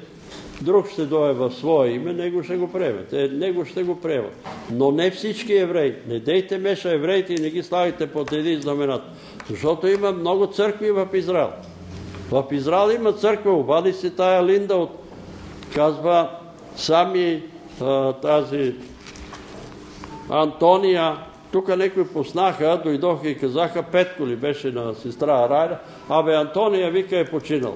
Абе не знам, не знам, не мога да кажа. И сега ми се обажда Линда, абе Антония, вие сте идвали у нея на гости. Еми, жива е. Какви ги пускате? Той е починал, он е починал. И после, оле-ле, какво става? Не ги разнасите тия Но има християни. И запомнете го това. И ми се обаждат по телефона такива братя, нали, по Европа, попътуват. Ама евреите са виновни за всички. Кой еврей бе, брат ми? Кой еврей? Исус Христос е еврей. Първите апостоли са евреи. Първите 120 души, които на 50 са повят, е еврей. 5000, казва апостол Павел, еврей. Какво? И 10 хиляди после. Ама, какви, за кои евреи става дума? Ама те, нали, там а, черната ложа и не знам какво си черната ложа. Ами не знам черната ложа, тя е тайна. Мен няма да ме пуснат там в черната ложа да питам коя. Не бе, тая вика е на този, на Буш там черепи кости и затова сега разнасят на децата дрехи черепи кости. Обувки с черепи кости. Нали? А това означавало белега на, тия, на пиратите. Абе, сестро, детето ти пират ли ще става? Що си му купила този бухлук? На гърдите му черепи кости. Абе, това ли е за деца, бе? Ей, хора, ами нема ли учители, възпитатели, родители, ще да му купе черепи кости? Еми той иска такива, ами иска такива, ама няма да му купуват. То може да иска. Добре, по това слово, което четахме, ако има нещо, питайте. Ако няма да се молиме, за да не губиме време. Така. Брати и сестри, да се помолиме за сестра Антуанета, Бог да й даде памет, силна и спасително и пълно покаяние, за да оздравее напълно. Наистина, Господ да ни даде памет, защото много хора ние имаме тая склонност, Господ е направил да забравяме. Защото ще ни се пръсне мозъка, ако всичка, всичката информация се напълни в главите ни и ние забравяме. Но, ако сме забравили греховете си, Господ да ни ги припомни, да си ги изповядаме и да се молиме Бог да ни прости греховете, за да бъдем освободени и очистени. Защото като отидем при някакви болни, като почваме да го разписаме, това правили, правих и онова, правили, ау, ами това грех ли е? Ами грех е. И онова правих и оттам са проблемите. Проблемите може да бъдат и от наследствена обремененост, от родители, правди, баби, деди и така нататък. Отричаме се. Господи Исусе Христе, привлечи към себе си моите Кристина и Васил, промени сърцата им. Промени сърцата им и освободи ги от дух на алкохол, от дух на бунт и така нататък. Сега, Доколко зависи от Бога? Зависи много и от нас. Искам Исус да ме освободи от цигарите. Имаш ли цигари? Имам. Дай ми ги. А, не, не ти ги дам. Имаш ли? Искам да ме освободи от алкохола. Имаш ли алкохол в хладилника? Имам. Изхвърли го. А, как ще го изхвърля? Той струва пари. Нема да те освободи. Разбираш ли от какво зависи? Искам да ме освободи от наркотиците. Имаш ли наркотици? Фърли ги. А, не, как ще ги фърлят? Те са скъпи. Няма да те освободи. Така е. Намразете греха, намразете порока и тогава ще бъдете освободени. Да подкрепим сестра Русица в молитвата ни. Бог да даде разрешение на проблема с здравето на Йонка, да й даде по-лека работа, а на Ангел Бог да го привлече към себе си и да получава редовно възнагражденията си. Ще се молим и за това възнаграждение. Ние се молихме и тя после се обади и каза, платили само, но ангел да повярва в Бога. Това е пътя. Ние сега ще се молим и за възнаграждението му, за здравето им и той си се здрав, жив, прав и утре падне и умре, какво става с ангел? Отива в ада. Отива в ада. Аз ви казвам. Защо не пише тук да се молиме, а ангел да се покае? Ангел да повярва. Ангел да се промени. Материалното на първо место, духовното на второ. А какво казва писание? Търсете първо Божието царство и Неговата правда и всичко това ще ви се прибави. Ще ви се прибави.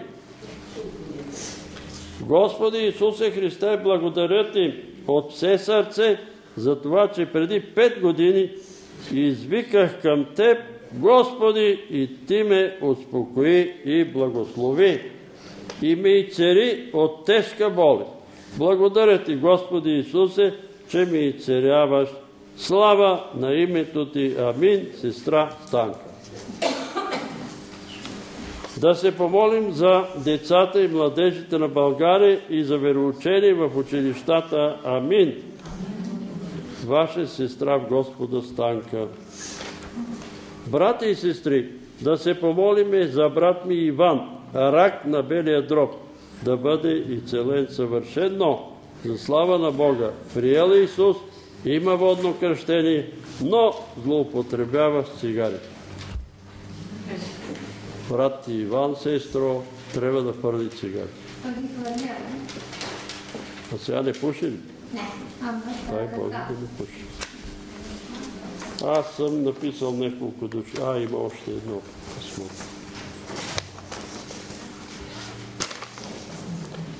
Моля всички брати и сестри да се молят за мен и децата ми. Бог да докосне тримата ми брата и също и снахите ми и от майка ми ми остана една стая да и докосне братя и лято да ми даде брат ми,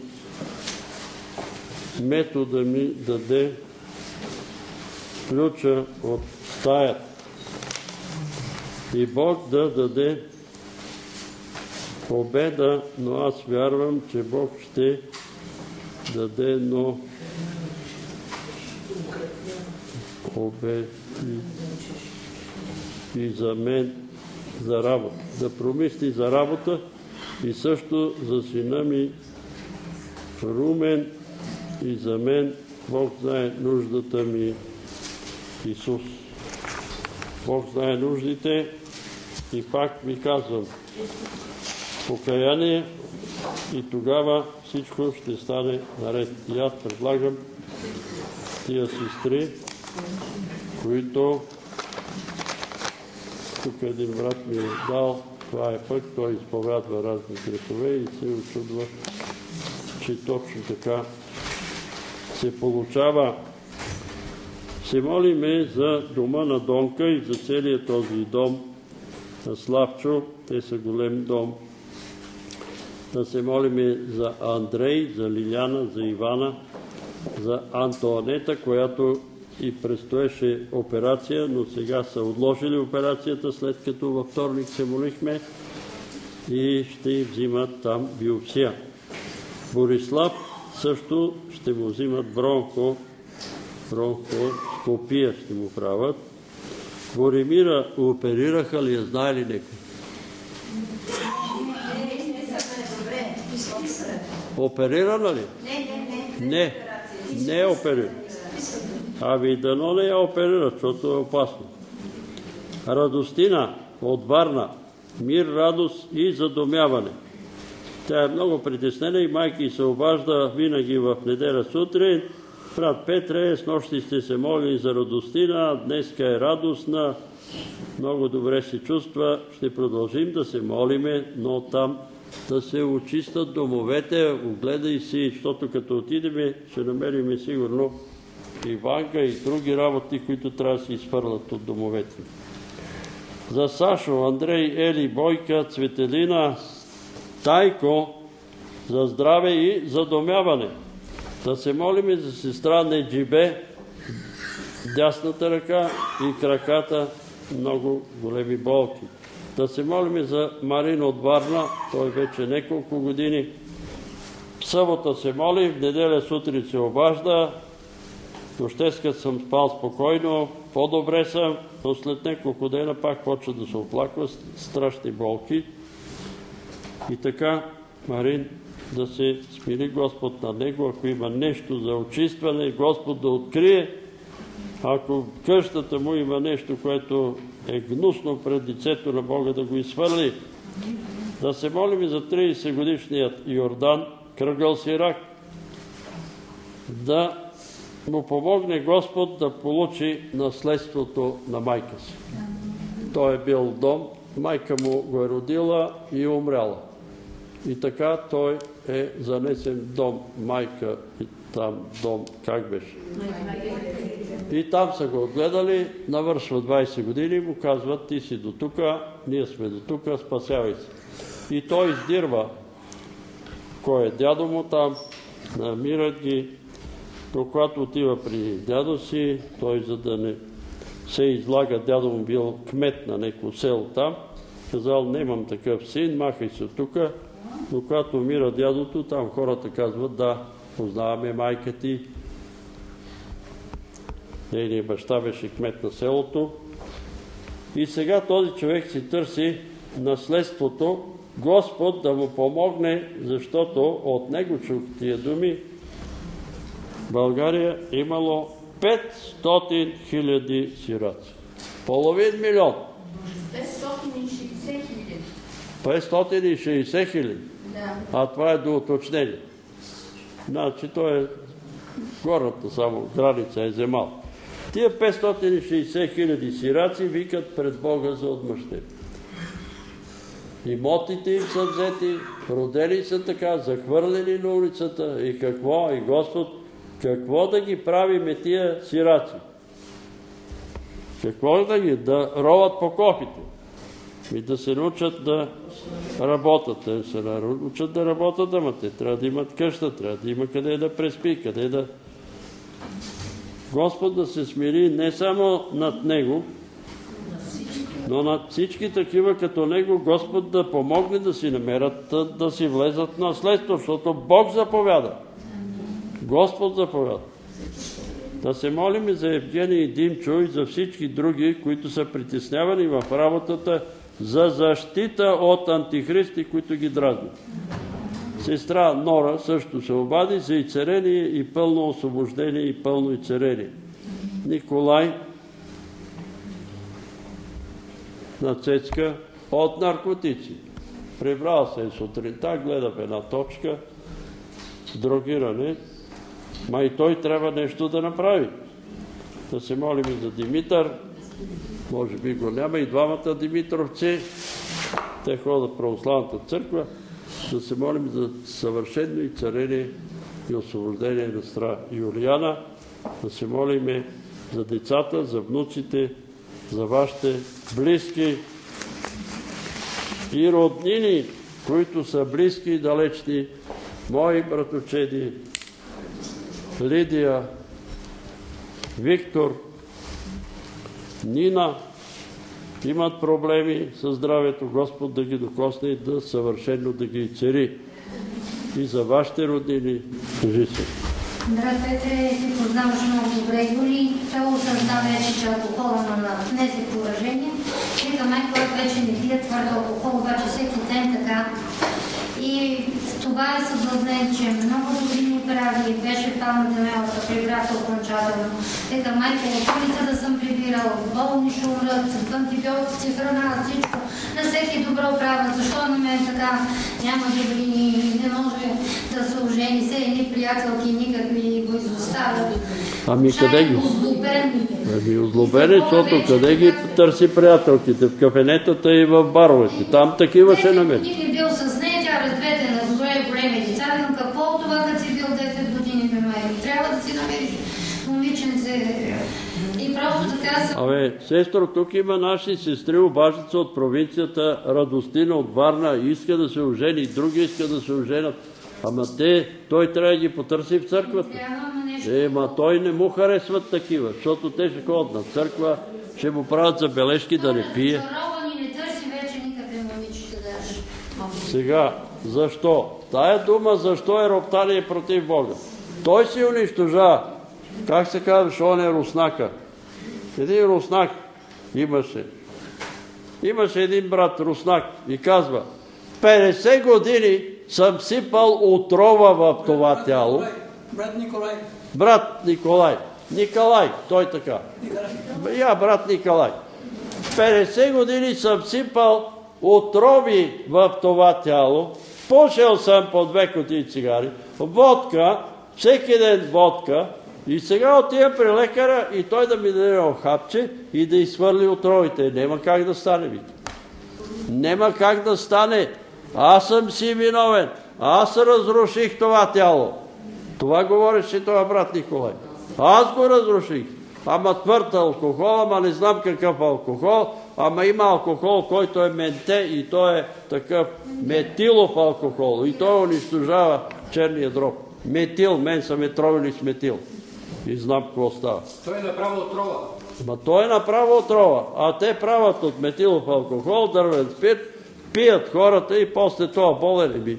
Това е отрова. Това е отрова. Ние ще се молиме за Юли, но трябва да го видим тук да дойде. Еми не иска, еми като не иска, ние какво да направим? Не иска да дойде. Кажи се. За Лиляна и Николай да се помолиме, така са поръчали. Добре. Здраве, за спасение, за изселително И покаяние. сега ще се помолиме и за тях ще се молим. Но аз искам да ви кажа нещо. Нали, тук миналия път предложихме, предлага се по-ефтин ленино, ленино, какво беше? Масло. И Теменушка записваше тук и, и искат някои там братя по-богати да го платят. Но вчера сутринта аз го казах началото за тия, които не са чули. Но вчера сутринта чух тия думи.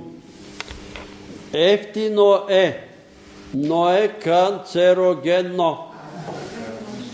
Чувате ли? Ефтино е, но е канцерогенно. Аз мисля, че се отнася за това масло. И ние ще събираме пари за клони и канцерогено. По-добре не ни трябват такива масла и такива Абе, колко пъти говориме, откъде е здравето? Халеп, Исус Навин, от такова масло ли пиха, доживоха, доживеха до такава дълбока старост.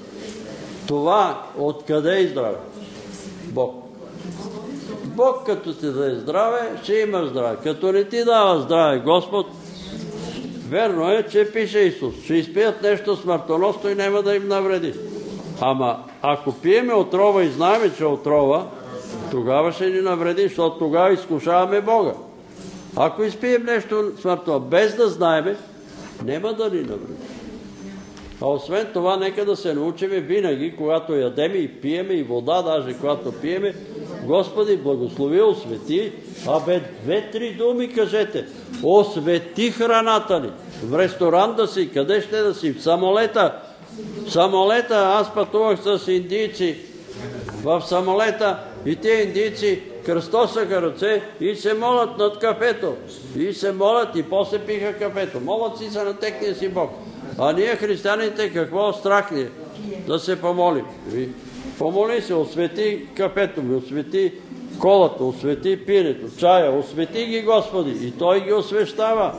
Как ги освещава? Не знам, но Той си знае. Той си знае. Добре. Кажи. Да се помолим за сестра Евгения. Евгения. Била е болницата два-три дни от алергия. Алергия. Да, и точно има дете. Сестра Евгения я записваме от алергия. Да се молим. Сестра Здравка немощ. 80, вчера е навършила 86 години. А, Господ е изцелява от десетина болести. Върна я от смърт. В Пирогов сестра ми отиваме, тя не може да говори шепти, шу, шу, шу, не може да разберем. Сестра ми питала лекуващата лекарка да й донеса ли чехли. Тя каза, бе, какви чехли, вие не видите, че тя умира. Ама това кога беше? Преди 10 години. Преди повече. Преди 20 години. Ето е, жива и здрава. Лекарката вика, тя умира, бе, какви чехли, бе. 86 години. Бог да я благослови, се молим и за нея. Нейното най-голямо желание е да види синовете си че са повярват. Да види синовете. Това е сигурно и вашето желание. Кажи. Аз искам да ви кажа нещо във връзка с изследването на слово. Да. Аз имам книжка, в която много добре е, се казва Лененото масло хубаво да се употребява, но когато е студено, пресовано и когато е прясно. Това, което го продават в търговската мрежа, то не е полезно. А, купих аз от Калпланка една бутилка и като го отворих, то горчеше. Значи лененото масло е много полезно. Аз на моя син му практикувам ленено семе, което го смилам на кафено. А, от самото семе. И му го давам с обесени ягти, които може с кисело млеко, с прясно млеко, с водичка. Ами по-добре така да се смила, отколкото това не го знае човек какво е. Много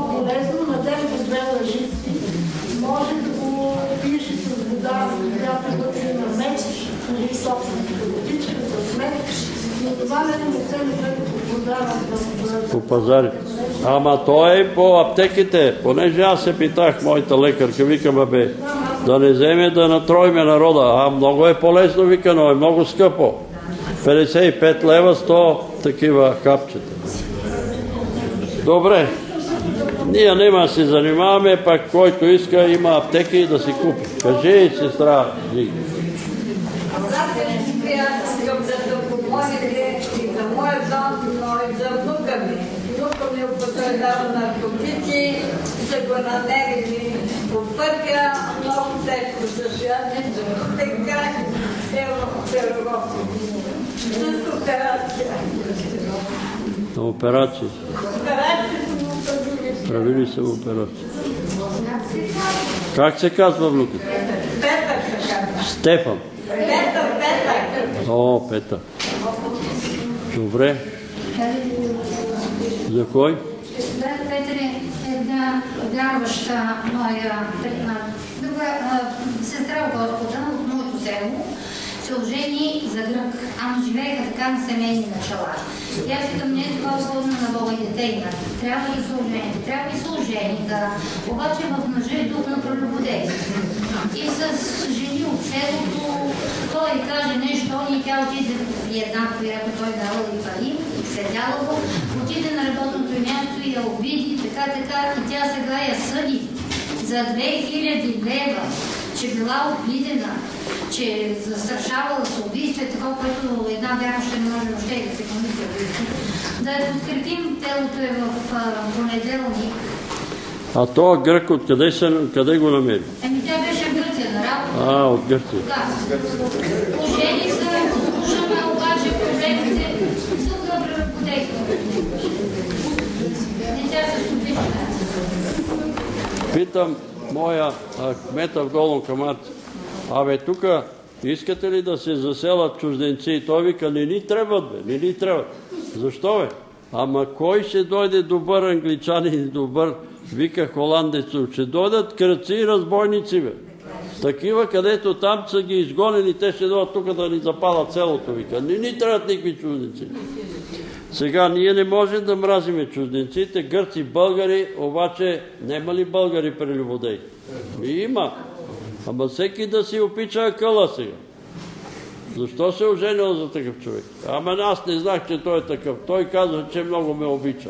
Не ми обичат, ама какво да правим сега? Ние се молим, ама какво мога да направим? Той си има свободна воля, ще си прелюбодейства, си прави какво си иска, а ние какво да правим? Да се молиме Господ да я защити. И идват е такива, казвам ви, на всеко събрание, накрая ще остане някой да ми пита, ми да се разведали. Ми това не е моя работа. Не е моя работа дали да се развеждат дали. Аз мога да кажа само едно. Бог мрази напустничество. Щом си заоженил за него, ще го търпиш. Това е. Бог мрази напустничество. Жено, не знаеш дали ти нема да спасиш тая душа с твоето търпение. Ама не мога да го търпа. Еми, що да правя сега? Искате от мене аз да ви кажа, да поема аз отговорността, ама аз не поем така отговорност, защото Господ ме е предупредил. Дадеш ли такъв съвет, некой да се разведе, ще те отвърля. Ще те отвърля. Дадеш ли съвет на некой да се разведат? Не давам такива съвети. Страх ме. От Бога ме е страх, не от човеци. Човеците не ме. Такива въпроси не... Що ще занимаваме времето? Занимаваме църквата сега тая жена, еди какво си, друг па еди какво си, ама не. Какво да правим с тия хора? Това не е работа наша. Това не е наша работа.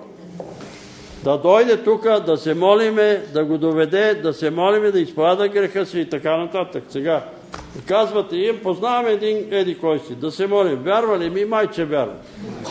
Товарет, брат Димитър каза един случай. Помолил се и за некъв неверващ човек и ръката го е заболяла и аз се молих оня ден за некъв човек и като ме стегна корема, без да го питам тук, вярва ли, не вярва ли миналата събота, не може така.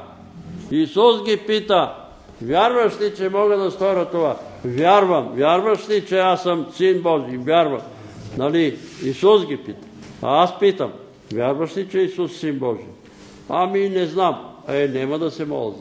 Ама няма ли се? Ама не трябва да се моля.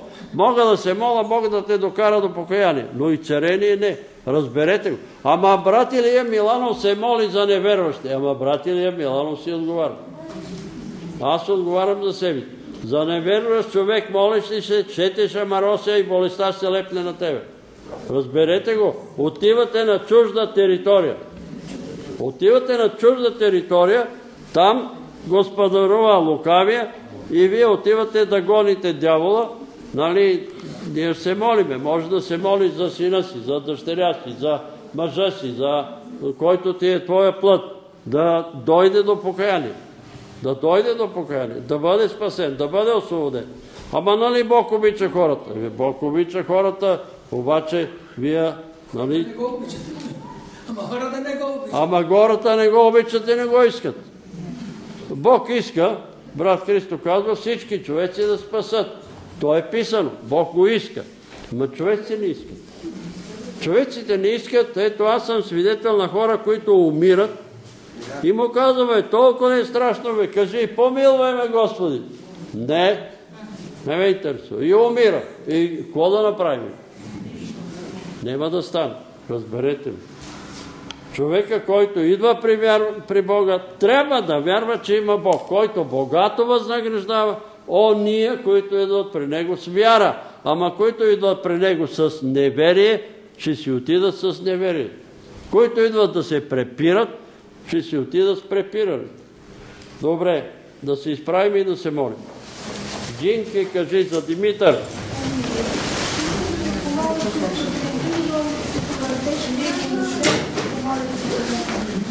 А, за тебе. Братята, да се молим за моя дом и за родата ми. Ами за всички ние се молим. За цялата рода. Не само от твоята рода, а нашата рода къде? за дома на брат Иван. За Йорданка. И за мен, И за моя дом. За моя дом и за други ден ми предстои, може би, е, лека операция. Лека операция. За Украина, Сирия, Ирак и Афганистан. За мир в Сирия, Ирак и Афганистан. За мир по целия свят имаме право да се молим за мир. Обаче, ако хората не искат мир, няма как да стане. Ако пъдат княза на мира и не го искат в техните държави, няма как да стане. Господи, слава да бъде името Ти и благодариме Ти за тая възможност, че ние, човеците, грешни човеци, стоиме сега пред Тебе, имаме тая дързост и смелост и да вярваме, че Ти, който седиш в тронната зала на небесата, чуваш нашите немощни молитви и отговаряш според Твоята праведна воля. Ние те молиме за тези бележки, които прочетахме. Молиме те да разрешиш и материалните проблеми на тази душа, която иска да бъде развързана и освободена и да си получи наследството. Молиме те за Йордан и за всички сираци, които са отвърлени и е заграбено наследството им. Ти си мощен да подбудиш наши управници, тези деца да си намерят наследството на бащите си и на майките си и да не скитат немили и недраги, но да влезат наследството си, да обработват земята си и да се хранат. Молиме те, Господи, за тия души, които тук сестра Розалия предлага. Молиме те за нейния дом, за Васили Кристина. Развържи Васил от този демон на алкохол. Молиме те, Господи, и за Кристина, освободи я този дух на бунт, на гняв. Господи, молиме те за Иван, който е волен от рак на белия дроб, да бъде съвършенно и царен, тъй като той е приел Исус и е приел и водно кръщение. Смили се, Господи, и за Юли, който не може да си намери другарка. Ние те молиме, Господи, да го свържеш с подходяща другарка, да си създаде семейство. Подкрепи, молиме те, сестра Русица, в нейните молитви за Йонка. Молиме те за здравето на Йонка. Дай искрено покаяние. Тя пожела да чуе волята ти и постъпи обратно на волята ти. Затова те молиме сега да и дадеш покаяние, да се свести, да се опомни и да промисли за по-лека работа. Молиме те за ангел, нейния син на Русица. Първо ти да го докоснеш, да те познае, да те намери, а после и за това да получи и редовно възнагражденията си. Ние те молим за всички наши роднини, близки, братя, сестри, които работят, а работодателите не им плащат или задържат заплатите им. Ти си предупредил чрез апостол Яков горко на уния богаташи, които задържат заплатите на тия, които поженаха нивите и мето техните заплати стигнаха до ушите. Техният вик стигна до ушите на Господа Бога Саваота. Господи, вразуми ги тия работодатели да се свестят и да се опомнят, за да не, не получат шамарите, които ще им се чудат, после се чудат откъде са им дошли. Милост, Господи, за сестра Антоанета. Откри, Господи, върни паметта да си спомни какви грехове е вършила, да се покае, да ги изповяда, за да получи пълно и царение. Ти си ни предупредил чрез Твоя свят апостол Йоанн. Да се молиме и Господ ще даде здраве на нашия брат или сестра, но ако е извършил непростими грехове, но ако е извършил непростими грехове, и да се молиме, нема да получи изцарение. Смъртните грехове трябва да се изповядат, да се моли за прошка на греховете, за да получи тогава и царени. Ние те молиме за Донка и нейния дом, за Славчо баща и за всички нейни роднини. Освети техния дом и опази ги от лъжи учители. Молиме те за Андрей и сестра Николина от Горна Оряховица милост, Господи, стори на този човек Андрей. Помогни му да се доближи до Тебе, защото го е страх и търси човеци като ходатай. Няма нищо страшно в това от ходатайте, но Ти каниш тия, които са в отеснение, дойдете при мене всички отрудени и обременени и аз ще ви успокоя, а той го е страх да дойде до Тебе. Вярва в Теб, но го е страх и срам. Помогни му, Господи, да се оттърси и да извика към Теб. Смини се за Лиляна и Ивана, дай им съвършенно развързване и освобождаване. Благодарим Ти за това освобождаване и царяване. Благодарим Ти за промяната.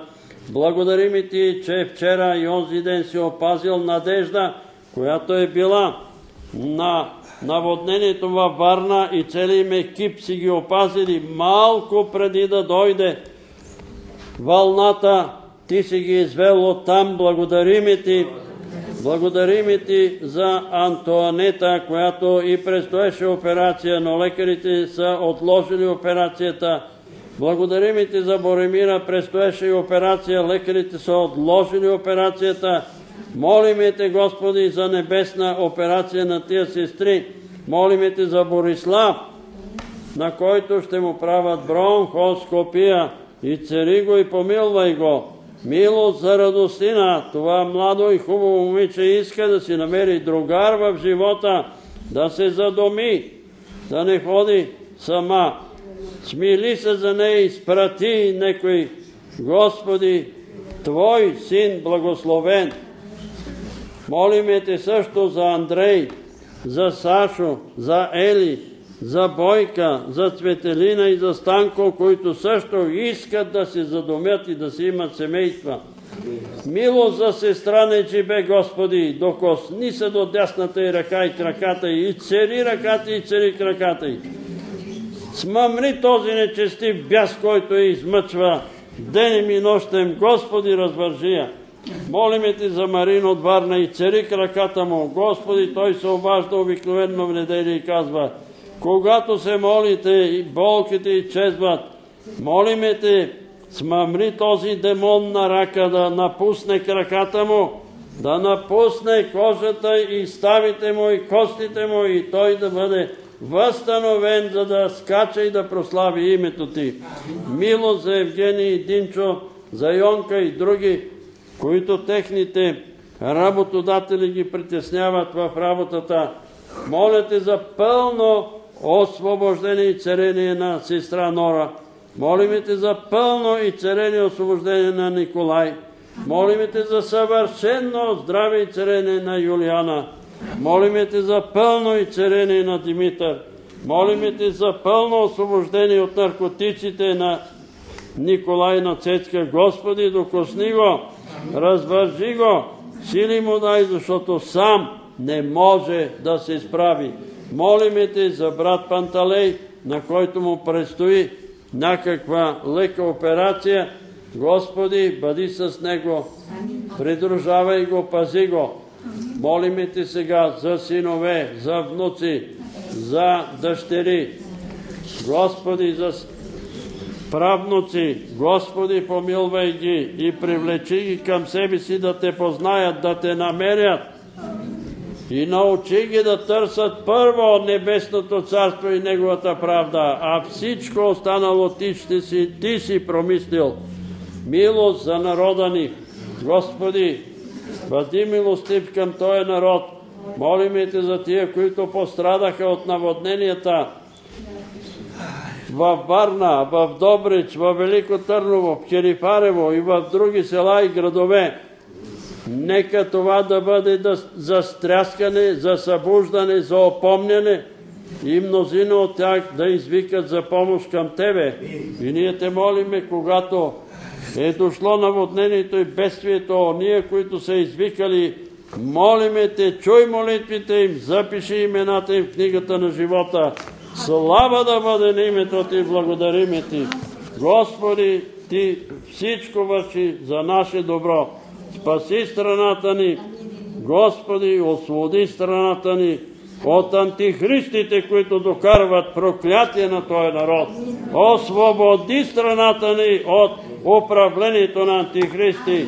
Молиме Те, Господи, за управници на България да избереш свети, светци, хора, които са Твои благословени люди и нека те да бъдат канали за благословение, защото атеистите, антихристите са канали за проклятие на този народ. Ние те молиме да, ги, да ни освободиш от тях и да ни изпрати святи хора, хора, които имат страх от Бога, които да забранят тия гей паради и други гнусоти, които се вършат на територията на България, да не пострадат невинни хора заради това безумие на нашите управници. Господи, смили се на територията на България и опази, прекрати тия наводнения, ако е волята ти и опази ни от катастрофални земетресения. Слава да бъде името Ти. Сега те молиме за нашите роднини по плът, родовете ни, роднините ни, привличай ги към себе си, прибавяй ги към спасяващите се, води ги към спасително покаяние. Господи, пази ги и помагай им и в работата и където да са. Пази ги от катастрофални бедствия, пази ги от катастрофи, от наводнения, от настинки, от заболявания, от препъвания, от падания. Господи, пази всички наши близки роднини слава да бъде името Ти. Пази Твой народ, християните в България. Сине Давидов, ако предстоят земетърсени и други бедствия, молиме Те да няма жертви. И ние Те молиме за тия, които са загинали 11 или 12 или 13 души. Ние Те молиме, Господи, подари покаяние на роднините им, да познаят истината, да потърсят истината, да се спасат душите им. Сине Давидо, смили се над България, слава да бъде на името Ти. Господи, тук има хора, които са дошли с проблеми и нужди. И затова те молиме тия човеци да ги цариш. Молиме те за този брат, който страда от кокс, артроза. Господи, цари ставите и костите му. Той ми е дал тук един лив, си изповяда греховете си. Ние те молиме, Господи, да му прости всички грехове, неправди и беззакония, да изцариш него и целия му дом. Молиме ти сега, мини от глава на глава и от сърце на сърце и очисти ни от всяка неправда, от всяко беззаконие, от всеки грях. Освободи ни от всяка наследствена обременено. Освободи ни от всяка клетва, заклинание и магиосничество. Освободи ни, слава да бъде на името Ти. Алелуя! Алелуя! Алелуя! Слава Тебе, Господи! Молиме Те сега и царявай и премахвай главоболия. И царявай очи, и царявай уши, гърла, и царявай бели дробове, трахей, и царявай артрити, и царявай панкреаси, и царявай премахвай язви, колити, гастрити, Господи, и царявай бъбречни заболявания, и царявай жлъчки, черни дробове, бели дробове, и царявай стави, и царявай кости, и царявай далаци, и царявай генитали, и царявай простати, и царявай Господи, кожни заболявания. И молиме Те, Господи на силите, днеска четахме за освобождаването на този гадаринец, а България пълна с гадаринци. Господи, вързани от бесове, освобождавай насилваните от бесовете, освобождавай измъчваните деца, Господи. Сине Давидо, смили се на болните от аутизъм, Смили се за тия момичета, които са не ядат, не се хранат от анорекция, развържи ги от този бяс.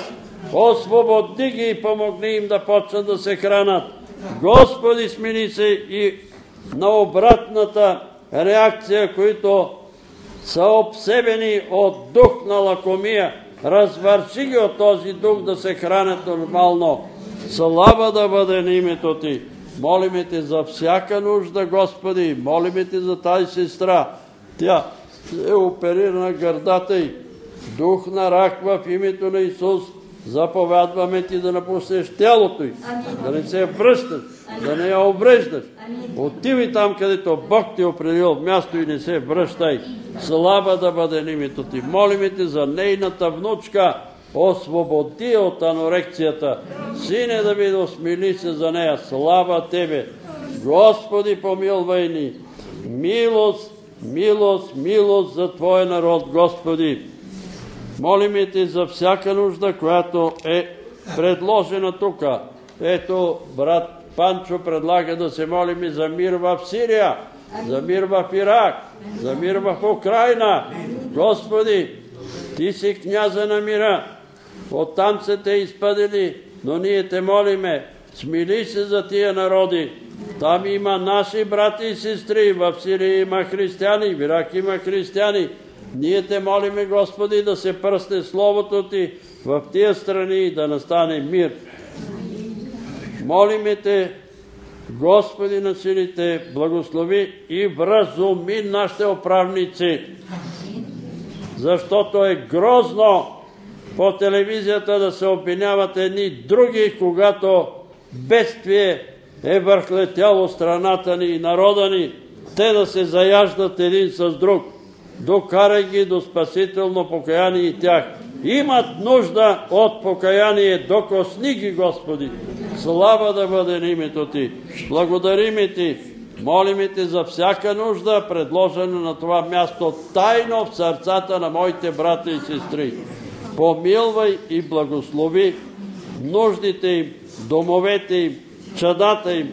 Благослови ги, Господи. И сега желаем да Ти се помолим и с молитвата, с която Твоя син ни е научил да се молим и като се молиме да казваме Отче наш, който си на небесата, да си святи името Твое, да дойде царството Твое, да бъде волята Твоя, както на небето, така и на земята. Хлябът наш насъщни, дай го нам днес и прости ни дълговете наши, както и ние прощаваме на нашите длъжници. И не ни въвеждай в изкушение, но избави нас от лукавия, защото е Твое царството и силата и славата во веки веков. Амин. Вярвам в един Бог Отец, Вседържител, Творец на небето и земята, на всичко видимо и невидимо, и в един Господ Исус Христос, Сина Божий, единороден, който е роден от Отца, вреди всички векове, светлина от светлина, Бог истинен от Бог истинен, роден, несътворен, единосъщен с Отца, и чрез когото всичко е станало, който заради нас човеците и заради нашето спасение слезе от небесата и се въплатил в дух и Дева Мария и стана човек. И бе разпнат за нас при Божия тела и страда и бе погребан и възкръсна в третия ден според Писанието и се възнесе на небесата и седи отясно на Отца и пак ще дойде със слава да съди живи и мъртви и царството му не ще има край. И в Духа Света, Господа, животворящия, който от Отца изложи, комуто се покланяме и го славим, наравно с Отца и Сина, и който е говорил чрез пророци, в една свята, вселенска и апостолска църква. Изповядвам едно кръщение за опрощаване на греховете. Чакам възкресението на мъртвите и живот в бъдещия век. Амин. За дрехите.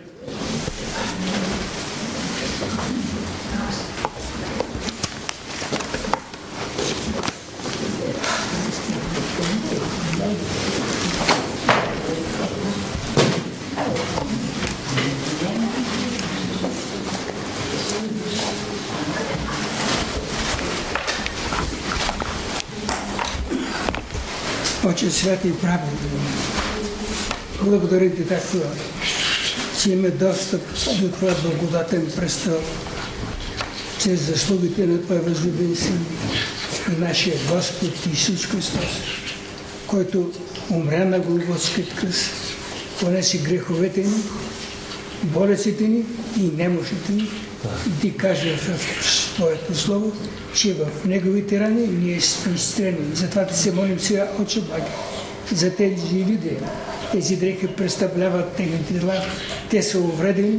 Ти знаеш всичко. Пред тебе няма нищо скучно. Ние си застъпваме за тях, защото ти си ни казал да се молим един за друг. И ние се молим, Отче Благи, да действа с силата на Святи Дух и чрез кръвта на Твоя възлюбен син и тези рани, които Той понесе, болестите ни немощни, тези люди да бъдат съвършенно изцелени. Ти казваш чрез псалмопевеца, изпраща Словото и то ги изцелява. Това е Твоето Слово, мощно, като действа. С това Слово си създал световете. С това Слово си създал и нас човек. И това Слово е което действа в душите, в сърцата и в телата на Твоите създания. И затова ни ти се молим сега. Изпрати с Твоето Слово върху тези люди и те да бъдат съвършенно изстрани. Духови, лукави, болесни, които причинявате тези страдания. Заповядаме ви в името на Господ Исус Христос. Напускате телата им. Напускате душите им. Напускате духовете им. Напускайте умовете им. И напускате техните домове. И ги слагаме под кръвта на Господ Исус Христос. И вие нямате нито отдел, нито участие. Вън врагове. Отивайте там, като Бог е определил място за вас. Не се връщате никога. Не обреждате никаква друга душа. В името на Отца и Сина и Святия Дух. Съвършено здраве за слава на Господа. Амин. Така, ако има делия, проверя.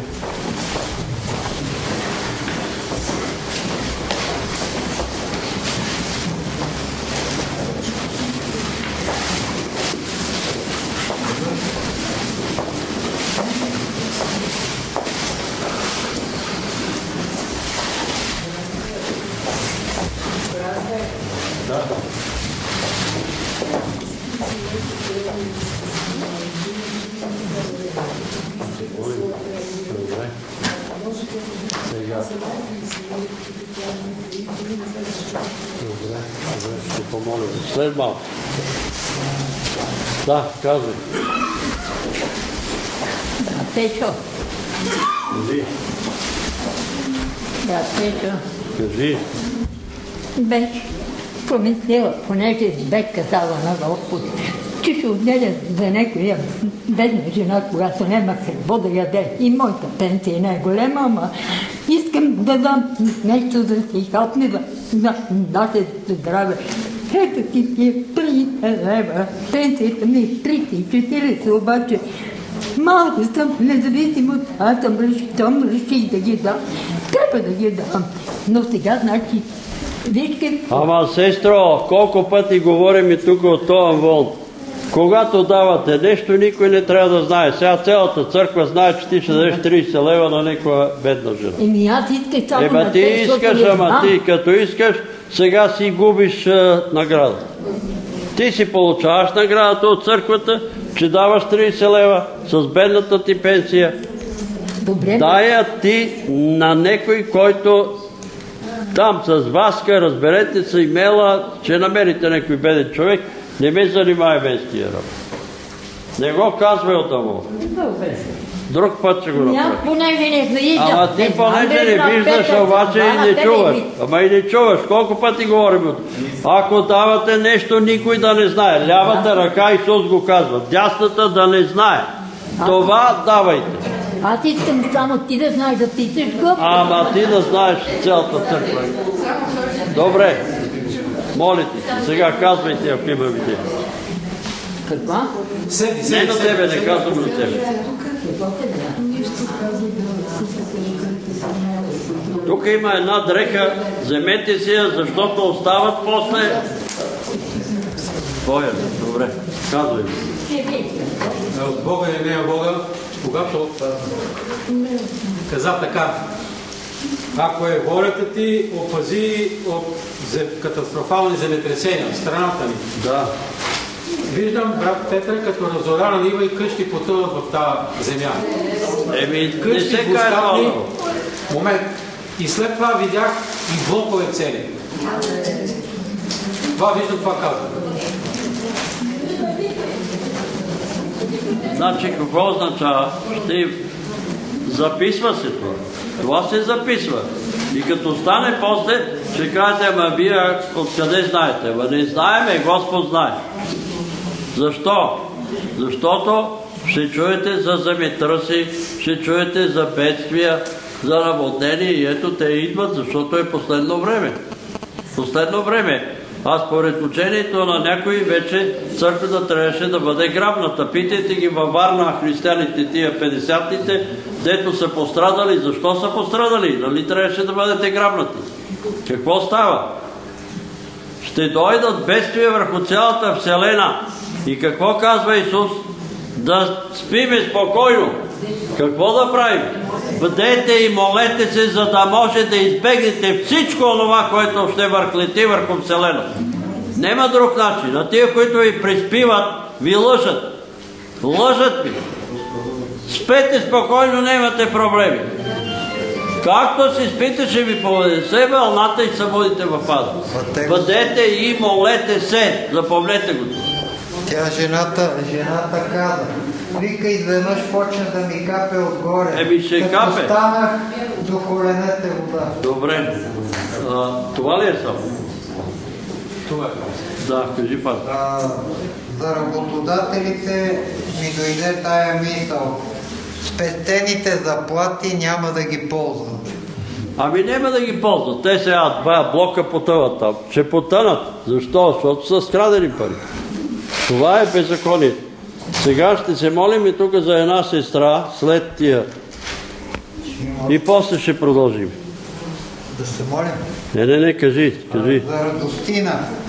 За радостина, тази, която иска да си намери мъж, виждам младоженци. Еми дай Боже да си намери. Е, Юли, запознай го. За наводненията. От Бога или не ми се казва, ще има още. Ще има още наводнения. Еми ще наблюдавам. За починалите при наводненията. Свещеник носи голям кръст. Не знаеме какво значи. Вие знаете, че преди забраняваха да ги опяват, забраняваха, а им слагаха там по една петолъчка и им свиреше музика. Но нещата се промениха. Като те считаха, че ще изкоренят вярата по един или друг начин, ще забранят всички ритуали и вече няма да има, но виждате, че тия хора си заминават и може би хората са много опечалени, много наскърбени. Дано това е добра почва за посяване на Божието Слово. Защото по-добре е да отидете на погребение, отколкото на сватба. На погребение ще ви чуят. Ама на сватба, когато ядат и пият, няма да ще ви, абе аз си гледай работа. Ние сега да ядем и да пиеме, па за онзи свят ще ми говориш. Кажи друг. Така и за управниците ми дойдоха две думи. Прегоряла съвест. Прегоряла съвест. Говори им колко искаш. Сега се помолим за тази жена, защото има проблем. После.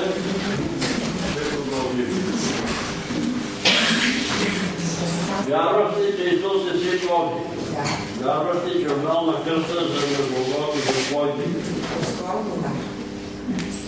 Скоро вярваш. А вярваш ли, че е възкръснал? Това го вярваш. Добре, си помогна. Но основание до тази. Но аз искам да направя едно отричане, не само тя, но има и много други хора. Да направи това отричане, защото не знаеме нощеска дали няма да ни трусне това, което брат Христо го говори. Аз също съм видял София като разорана нива. Отдават блокове, блоковете едни насам се наклонили, други насам. Да се молиме Господ да ни вие повтаряте след мен и всички останали. Нека се изправим.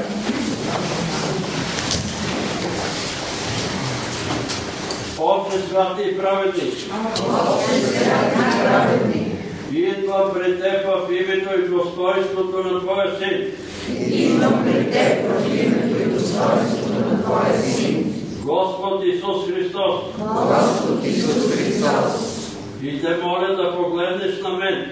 И те моля да погледнеш на мен. През жертвата на Божия агнец. През жертвата на Божия агнец. През кръвта на Господ Исус Христос. През кръвта на Господ Исус Христос. И да ме помилваш. И да ме помилваш. И да ми простиш. И да ми простиш. Всички грехове. Всички грехове. Които извърших. Които извърших. С думи, мисли и дела. С думи, мисли и дела. Волно и неволно. Волно и неволно.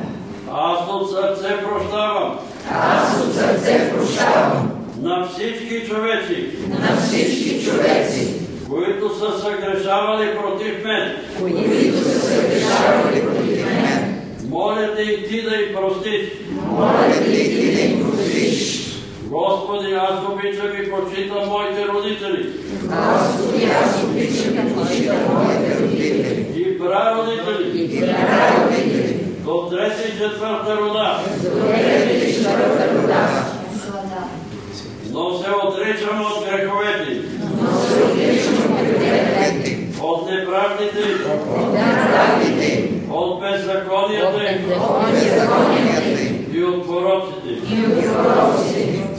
Ако върху мен има проклятие. Ако върху мен има проклятие. Поради мои грехове. Поради мои грехове. Или грехове на мои роднини. Или грехове на мои роднини. Унищожи проклятието. Унищожи проклятието. Защото ти като увисна на Голгота на кръста. Защото ти като увисна на Голгота на кръста. Взема моите проклятия върху себе си.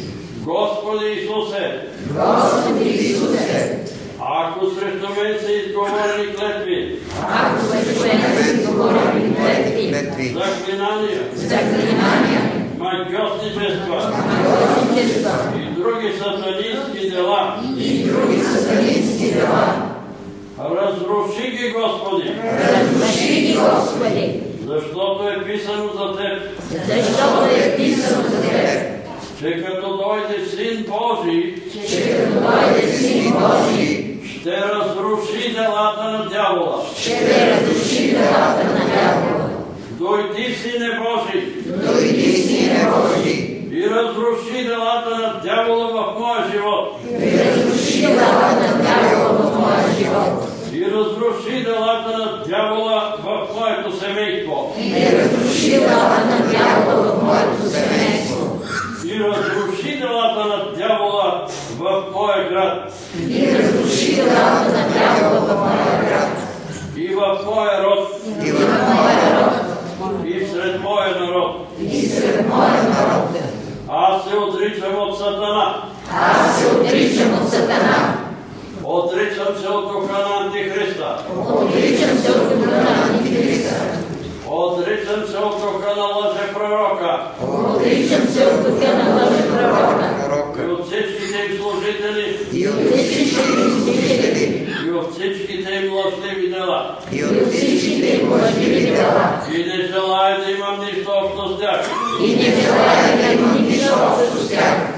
Нито те да имат нещо в мен. Нито те да имат нещо в мен. Аз искам тук на земята. Аз искам тук на земята. И във вечността. И във вечността. Да бъда с Теб, Господи Исусе Христе. Да бъда с Теб, Господи Исусе Христе. И с Твоите свети. И с Твоите свети. С Твоята църква. С Твоята църква. И за това те приемам. И за това те приемам. За мой личен освободител. За мой личен освободител. За мой личен Господ и Спасител. За мой личен Господ и Спасител.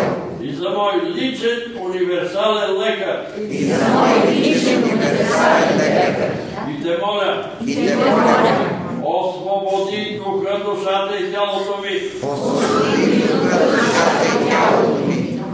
От демонична връзка. От демонична връзка. Спаси душата ми. Спаси душата ми. И изцели тялото ми. И изцели тялото ми. От всяка болест. От всяка болест. И от всяка немощ. И от всяка немощ. Благодаря ти, Господи. Благодаря ти, Господи. Амин. Амин. Така може да седнете си. Как се казва? К. Е, знато К. Все христини с К тогава. Ама защо се с К, бе? Надявам се. Христини, бе. Христо, бе. Тия хубави имена, бе. Да се ги кръщавате с К. Христо, християн. Това сина. Вярвайте, Господи, може да те изцели. Христина, Господи, Исусе, Твоята рабина Христина отскоро е повярвала. Но Ти си призовал всички човеци да се покаят и искат всички да се спасат такава е волята на Твоя небесен Отец. И ние те молим и да изпие Твоята кръв и да очистиш от всяка неправда. Ние се съединяваме с Божия Дух и с тялото на Господ Исус Христос, църквата. И ти заповядваме, душе на рака, княже на болестите, сега напуснеш тялото на Христина.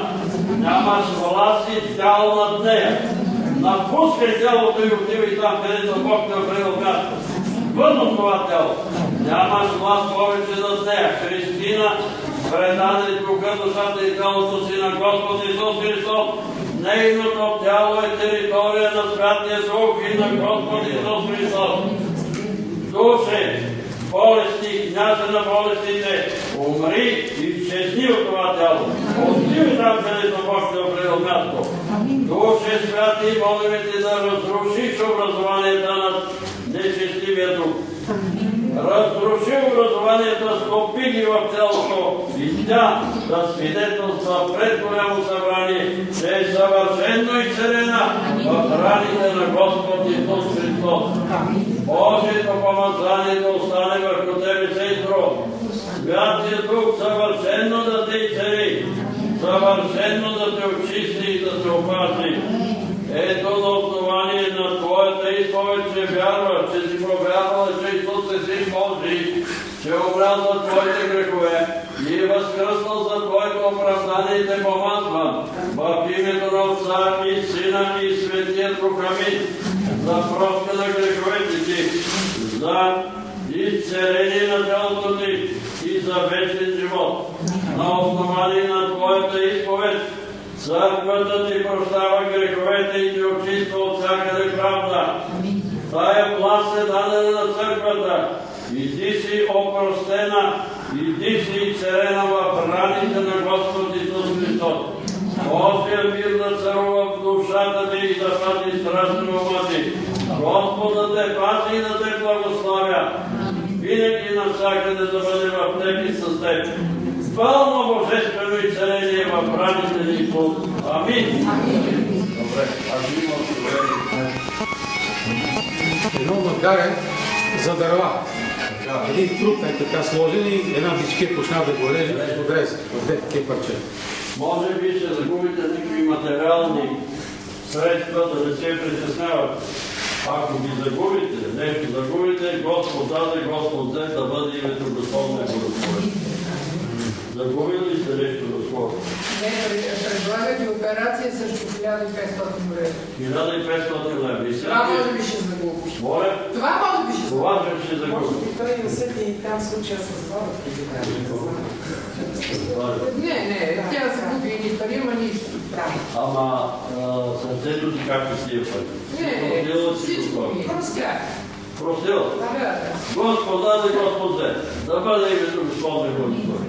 Защото заболяванията се получават от стрес, от притеснение, от загуба на пари, на близки, на родини. Човек се пресили и болестта пристига.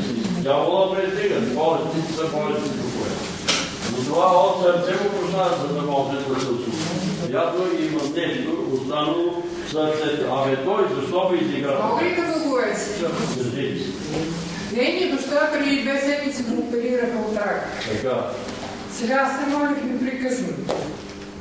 И Господ му помогна, защото се случи да дойде най-добрият световно известен хирург, професор от Швейцария, който го оперирал и е гарантирал на лицето му рак, че всичко е нормално. Значи Господ ми чу молитвите.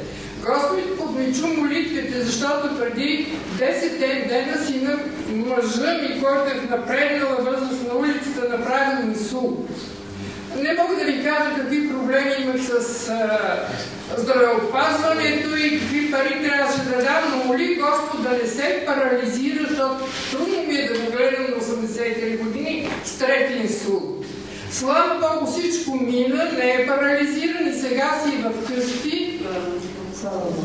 И това, и да се моля, аз не мога да благодаря на Господ, защото няма думи, с които да благодаря. Защото толкова чудеса е правил, той сърце ми излекува, аз и друг път съм говорила тук, и сърце ми излекувал, и очи ми излекувал, и всичко. Аз просто не мога да му благодаря, освен да му кажа, че го обичам, да приеме моето разкаянно любящо сърце. Друго не мога да кажа. Достатъчно. А които обичат Господа, знаете какво ще И аз не знам дали благовествах преди време, когато ми казаха, че имам рак на дясната ръка. Бях го хапан от стържа преди една година. Лекарите се чудят как с отрова съм живяла една година. Цялото 11 месеца се рани по ръката, аз се превръзвах. И когато ми казаха, че е рак на ръката, че ми зарастват раните, ми се яви един ангел небесен на, небе, на стената. Ангел ли беше, Светия Дух ли беше, човешкия образ беше. Ангел си видела, значи ангел. Нищо не каза. Глас не чух, мъгла го видях с светли дрехи, но само дясната му ръка сочи така към мен, сякаш беше жива. Искаше да ми каже спокойно, не е това. И не се оказа това. За което аз толкова се зарадвах, с какво заслужих тази милост на Господ, за да ми че заслужиш. О, милост. Милост, да. Милост, че прави към мене милост. И ме зарадва. Да, а, не знам сега ми така ми дойде това да отговоря на тия хора, които проповядват, тия братя и сестри от Америка, че дявола е който нанася а, земетресенията, бедствията. Моля ви се, ако ги срещнете, попитайте ги. Дявола ли порази Содом и Гомор? Кажете. Дявола ли беше? Кой беше? Говори за ангел. Бог прати ангели. И казаха на Лот, излизай, защото сме пратени да поразим Лот. Какви са тия проповедници? Дявола отишъл в Лот и поразил Лот. А дявола ли даде потоп? Дявола ли измисли потоп? Но това е прославяне на дяволите. Какъв дявол? Им там, ако ти се обадат сестра, кажете им да не вярват на тия пророци. На тия дявола давал на младения, дявола давал. Какъв дявол? Какъв дявол? Всичко контролира Бог. Бог бил любов. Бог контролира всичко. Какви са тия пророци? Да не, не. Млада жена с черна коса в светли дрехи. С Млада шалма. жена, бъде такава, която трябва да познавам. Вчера е мой първи Не, е другата, няма някакво съперник. Не, не, не. Възможно е да Чакай, чакай. се замисля. Да не би нещо, имаш някаква съперница и тя да ти е правила нещо. На мен не е За мен е снахами непрекъснато.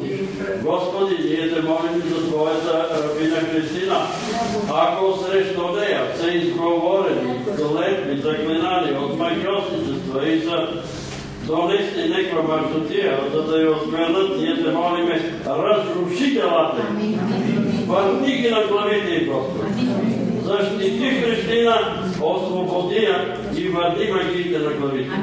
В Твоите ръце оставяме. Амин. И каза нещо. А, Бой, кажи Бой. Аз виждам нещо като черно, като тъмна, поне отдолу с вода, канал или какво минава и че нещо, не знам, Какво е виждаш направено. канал и който тече вода? Не вода, не чисто, нещо тъмно. Еми, то се оттича. Да. Нали сега се отричаш Нещо. от греховете? Дух на смърт, нещо, пък един бял такъв, дядо белобрат. Дядо Белобрат, Дух на смърт. нещо да сте викали духове. Да сте викали духове. Аз съм две. Ние сме всички вярващи.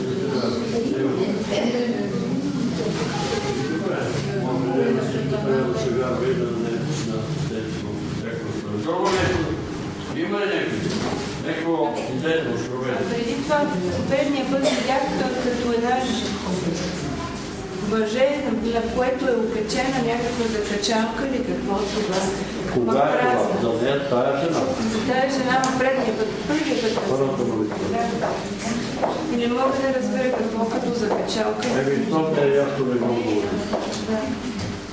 Като... Си трябва. Първата... Ела, ела. Трябва да се чува, защото не се чува.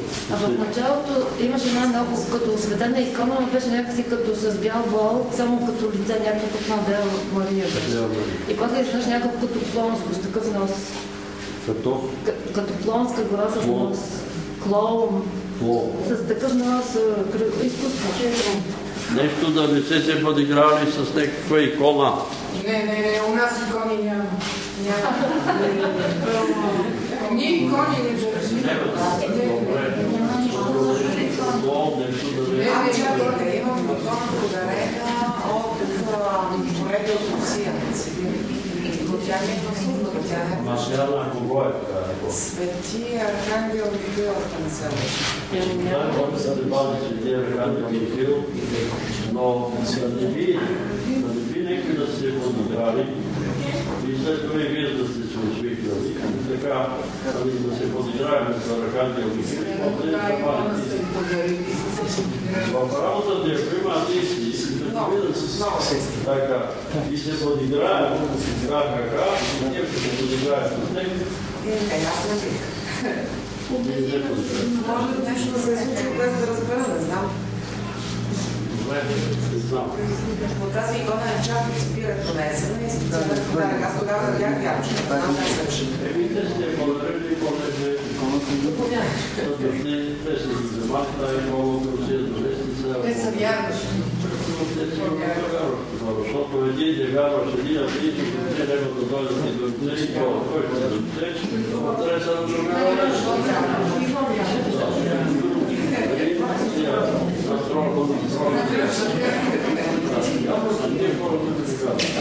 Ами има и фирми.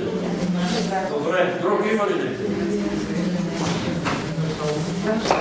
Брат Димитър, заповядай.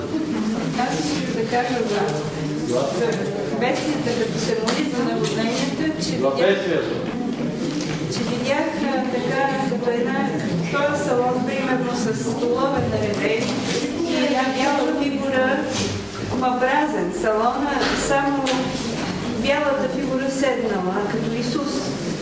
И така ми се мисли, че той така да, да не е отблизо, по-далече и че казва това съм аз, аз съм там. Къде е? Аз съм там. Къде? В църквата. Къде е Исус? В църквата. Ама салона е празен. Ама ти се моли за бедствията, за наводнение. може би аз съм там в тези неща. Ами Исус е и при бедствията. И неговите хора той ще ги спасява. Ето тая надежда. Вика една минута преди да дойде тая вълна, ние си тръгнахме, излезнахме от Аспарахова и вълната дойде. Иначе ще да ни помете и нас. Кой ни накара, вика, една-две минути преди това да излезнем. Значи Господ се грижи за своите. Това е положението.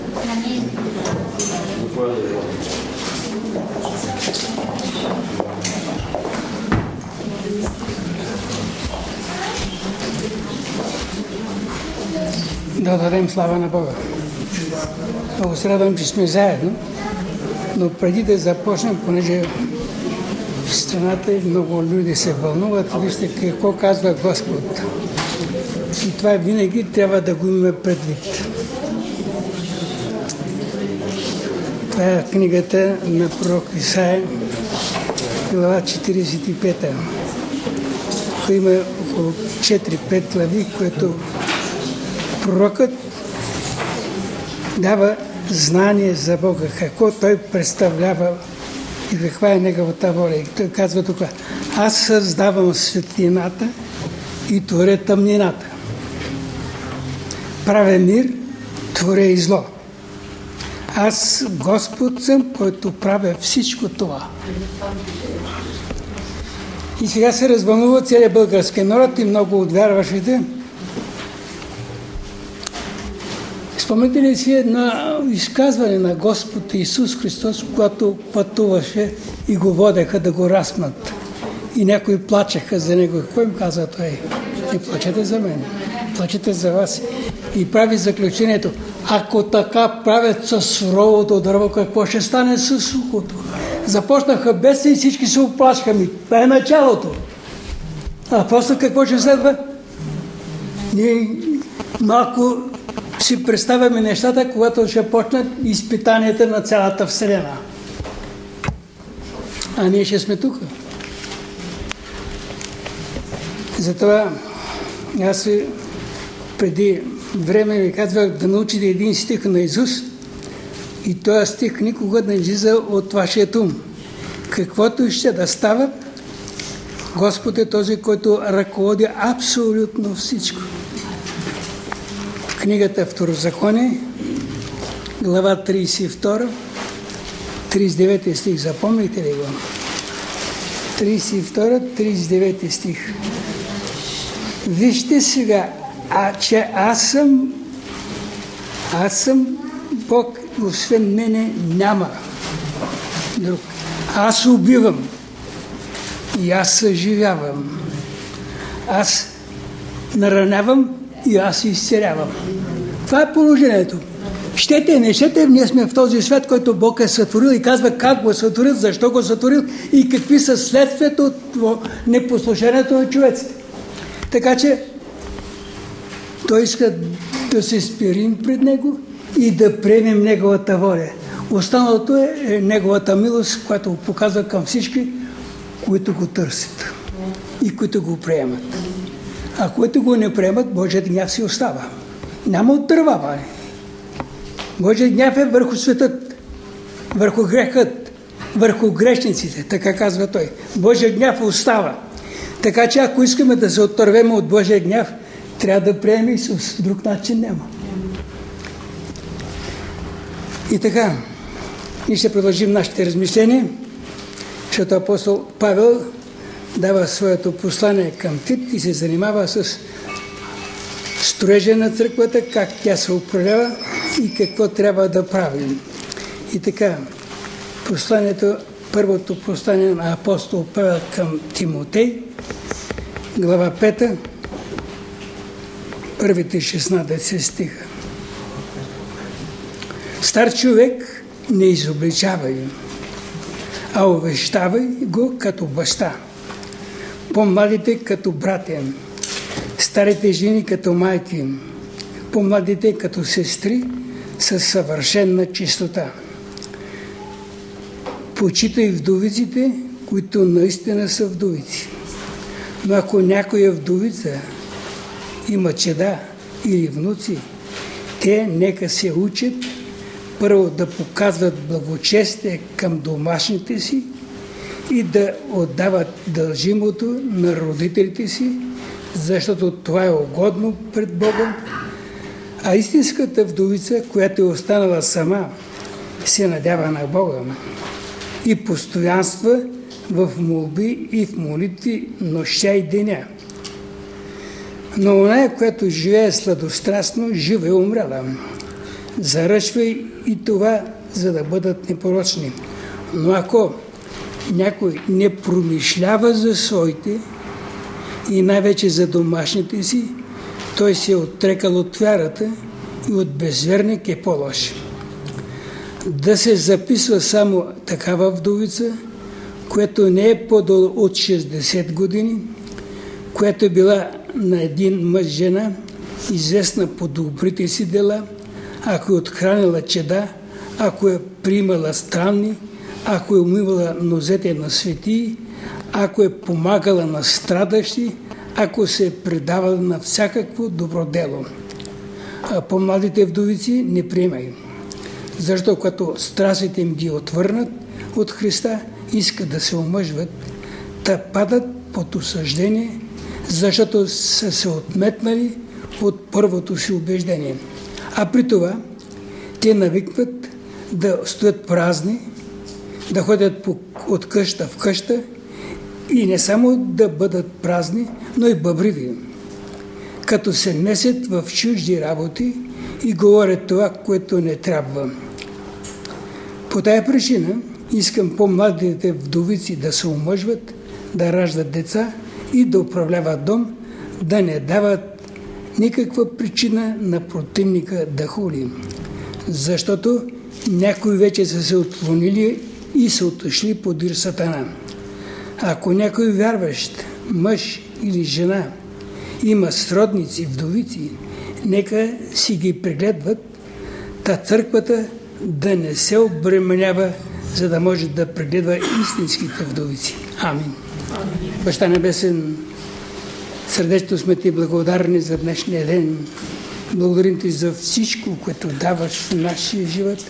Благодарим ти за Словото, което си ни дал да се получаваме от него. Молим ти се, ръководиш нашите размещения върху Твоето Слово, чрез Святия си Дух, откривани истината, разкривани същността на Твоето завет, който има с човеците, които си го извършил и които си го потвърдил чрез смъртта на своя възлюбен син и чрез неговото възкресение. И ти си ни приел в този завет на благодат, чрез вера в Твоят възлюбен син и нашия Спасител. И ни ти благодарим, Отче благи, че си ни дал Словото си, да се получаваме от Него. Благодарим ти, че ти ни възлюби и пожертва свой възлюбен син заради нас. И сега ти се моля в Неговото име да благослови всеки един от нас по-отделно. Отвори умовете и сърцата ни за Твоето Слово.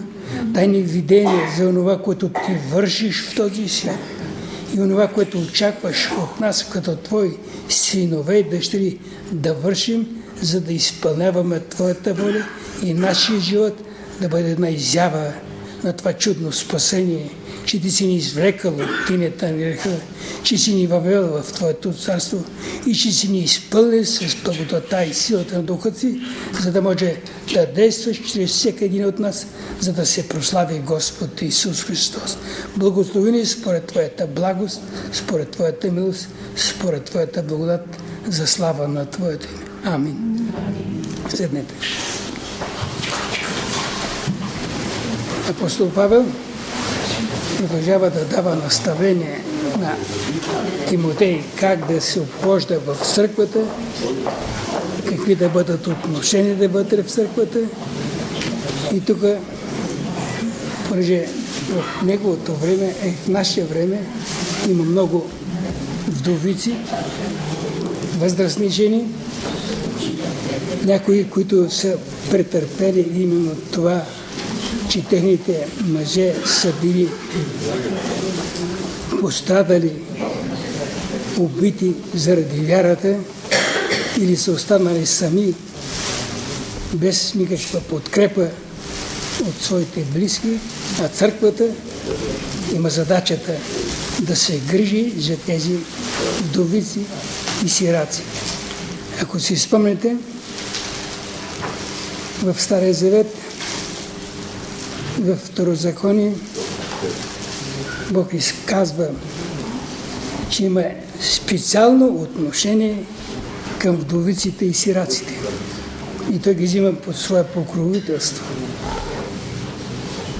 А тази грижа, която Господ казва в Стара Завет, че Той е баща на сираците и подпора на вдовиците, е прехвърлена на църквата в Новия Завет точно това ни казва апостол Яков, че чисто и непорочно благочестие и какво?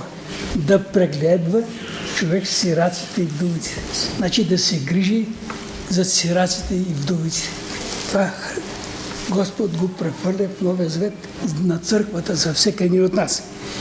И така апостол Павел тук дава тези наставления на Тимотей, че църквата трябва да се грижи за нуждите на вдовиците, като определя как трябва да бъде отношението вътре в църквата. Стари човек казва, не го изоближавай, а го увещавай. Съветвай го като баща.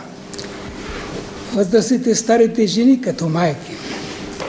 Отношението както към майка. Младите като братя, младите жени като сестри. Едно отношение, което иллюстрира животът в семейството. И тук апостолът казва, че църквата е едно Божие семейство. И отношенията вътре в църквата трябва да бъдат такива, каквито са отношенията в семейството. Младите да се отнасят с уважение, с увещание към възрастните мъже, да се, да се почитат и уважават възрастните жени като майки, но младите мъже като брате, а младите жени като сестри, с съвършена чистота. Апостолът предупреждава и има предвид, че младите жени крият опасност за проповедници. Трябва да се внимава с тяхното отношение. И затова той предупреждава със съвършена чистота. Без никакво вмешателство на друго нещо.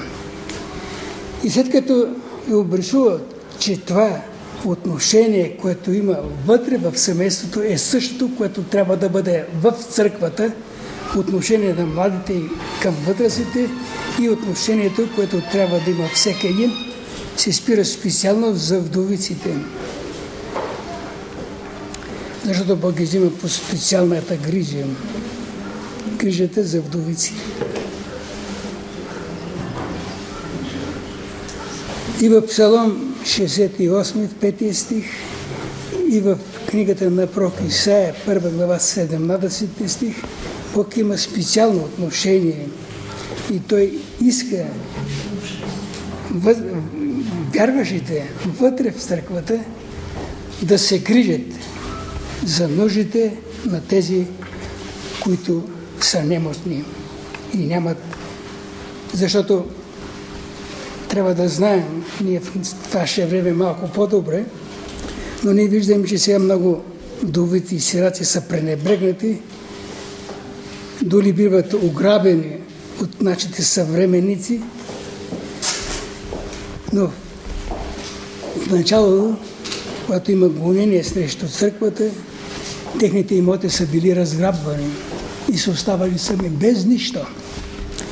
Защото една от причината за посочване на вярващи човеци е това, че този, който наклевети, т.е. посочи, че той е вярващ, той след това вземе имота му.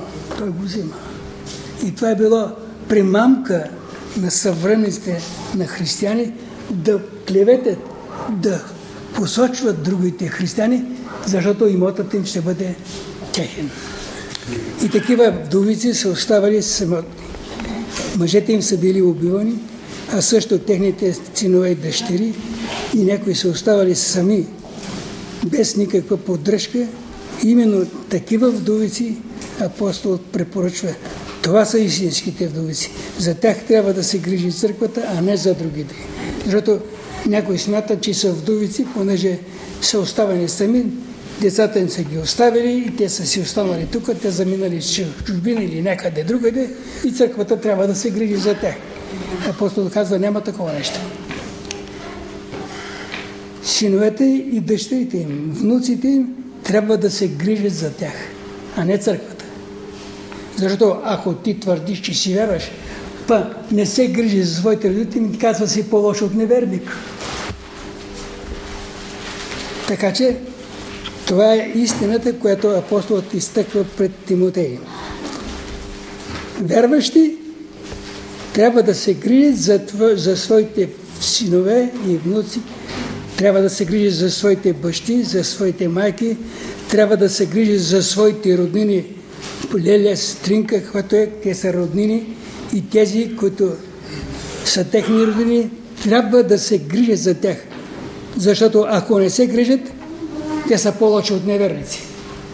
Това е определението, което дава апостолът.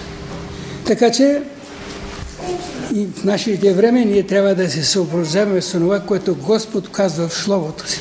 Защото преди години бяхме бях, събирахме се в дружба и там някои изявяваха, ама аз съм вика вдовица.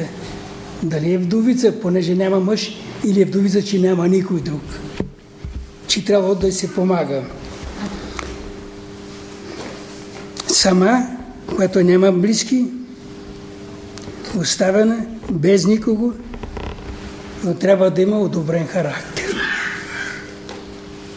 Това е изискването, което апостолът казва. Тя е сама, надява се на Бога, но какво прави? Пребъдва в молитва и ден и нощи. Това е една голяма сила, която Господ използва чрез людите си. Всяка една жена или всеки един мъж възрастен е задължен да се моли. За какво? За благовестието, за благовестителите, защото чрез тези молитви се дава възможност Бог да действа в този свят. И затова именно препоръката, като дава апостол, тези жени, които нямат други ангажименти, защото са сами, не се грижат за изхраната на другите, а и сами нямат нищо, но имат тази възможност да се молят през цялото време. Защото това е съветът, който дава апостолът и за всички човеци. Да се молим винаги. Тези неща, които са характерни за истинската вдовица, апостолът казва, че е останала сама, надява се на Бога, няма никакви други роднини, но е била на един мъж жена, не се е женила постоянно. Умрал един и тя се ожена с друг, след това умря трое учени с друг. И така, по този начин тя има роднини от другите мъже, а не от само този първи мъж, върху той няма. Така че това е едно от условията, които апостолът поставя. Да е била само жена на един мъж. Но какво друго трябва? Известна с добри дела. Известна с добри дела. Има такава вдовица една, която се описва в Божието Слово – това в Дела на апостоли 39 глава 36 до 49 стих. Това е познат случай, вие ще ли го спомните. Това е когато апостол Петър бива извикан в Иопе, една вдовица умряла, Сърна или Тавите и другите нейни съграждани я хвалят, че спомагала на нуждаещите шиела дрехи и ги давала на тези, които имат нужда. Така че апостол каза да бъде с добри дела, да е известна, че не е била егоист да се грижи само за себе си, но е помагала с каквото може на всички, които са били в нужда. Именно това нещо е, което апостолът иска като характеристика на тези, които са под грижата на църквата.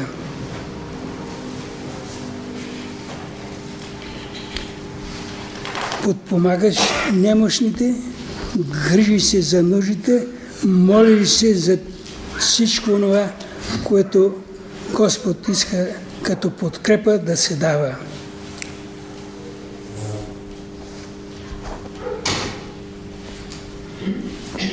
Именно за тези вдовици апостол иска църквата да има специална грижа.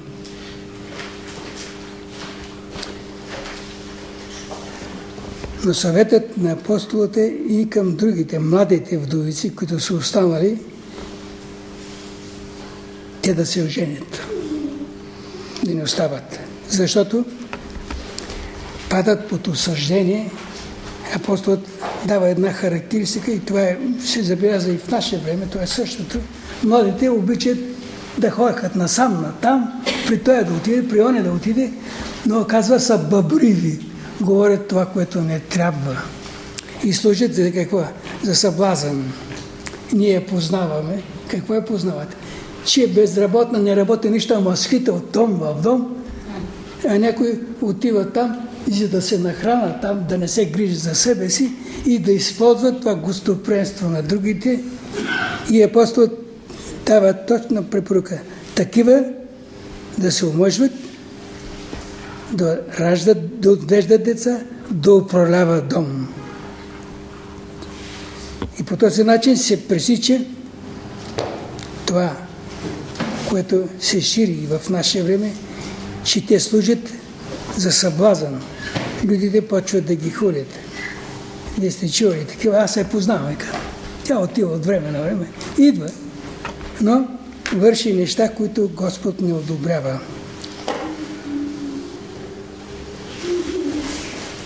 И така, какво е дългът на църквата? Да се грижи за самотните, без чужда подкрепа, вдовици. Това е задължение. И тук апостол дава точни, конкретни предписания на Тимотей. Той е като отговорник на църквата. И сега можем да вземем това задължение за всеки един от нас. Църквата сме ние. Не е нещо отвлечено.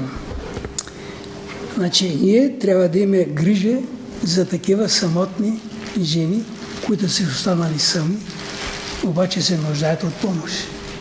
И ние трябва да им даваме. Защото апостол Яков казва, искате да сме благочестиви, чисто и непорочно благослужение, благо, го, това, непорочно благочестие, това значи нашата вяра и нашето служение на Бога трябва да бъде какво? Грижа към дълвиците и сираците. Така че това не ни освобождава, понеже това е работа на църквата, значи не е наша работа. Ами ние сме църквата и ако искаме да изявим, че сме вярващи и че служим на Бога, значи трябва да се изпълнява тази грижа от самите нас. И така, апостол Павел казва, църквата е като Божий дом. Ние сме тези участници в тази църква и нашите отношения трябва да бъде като в нашия дом, който е вярваш. И да се грижиме един за друг, както Господ иска Бог да ни благослови. Амин. Баща Небесен, благодарим Ти за Словото, благодарим Ти за тези истини, които Ти ни разкриваш чрез Словото си. И Ти се молим, Отче Благи, да ни изпълни с Духа Си и в нашите сърца да вложиш тази любов и грижата към нуждите на Твоите свети, да чрез нашата грижа, нашето внимание към тях, да изявим Твоята любов и Твоята загриженост за всеки един, който има нужда от Тебе, чрез и затова не Ти се молим да ни изпълваш сърцата с Твоята любов и тази любов да се отнася с внимание към Божите на Твоите свети. Благодарим Ти за всичко. Слава ни. Амин. И сега благодата на Господ Исус Христос, любовта на Бога Отца, общението и ръководството на Святия Дух, един Бог в три лица да бъде с всички нас, с домовете ни, с чедата ни, с църквата си на това място, с църквата си в цялата наша страна и Христовата църква по цели свят. Сега и през вековете некъде. Амин. Слава. И сега Ние се молихме тук, участваме в това отричане, но молиме се, не дете след това, ама моли се за мене. Еми, значи, щом тази молитва не се участва искрено, няма смисъл и да се молиме. Но ние се молихме за всички, отричахме всички заедно, ако сме го правили в сърце, значи то е чуто от Бога. Ако не сме го правили в сърце, колкото да се молим след това, нищо няма да стане. Бог да ни благослови. Амин.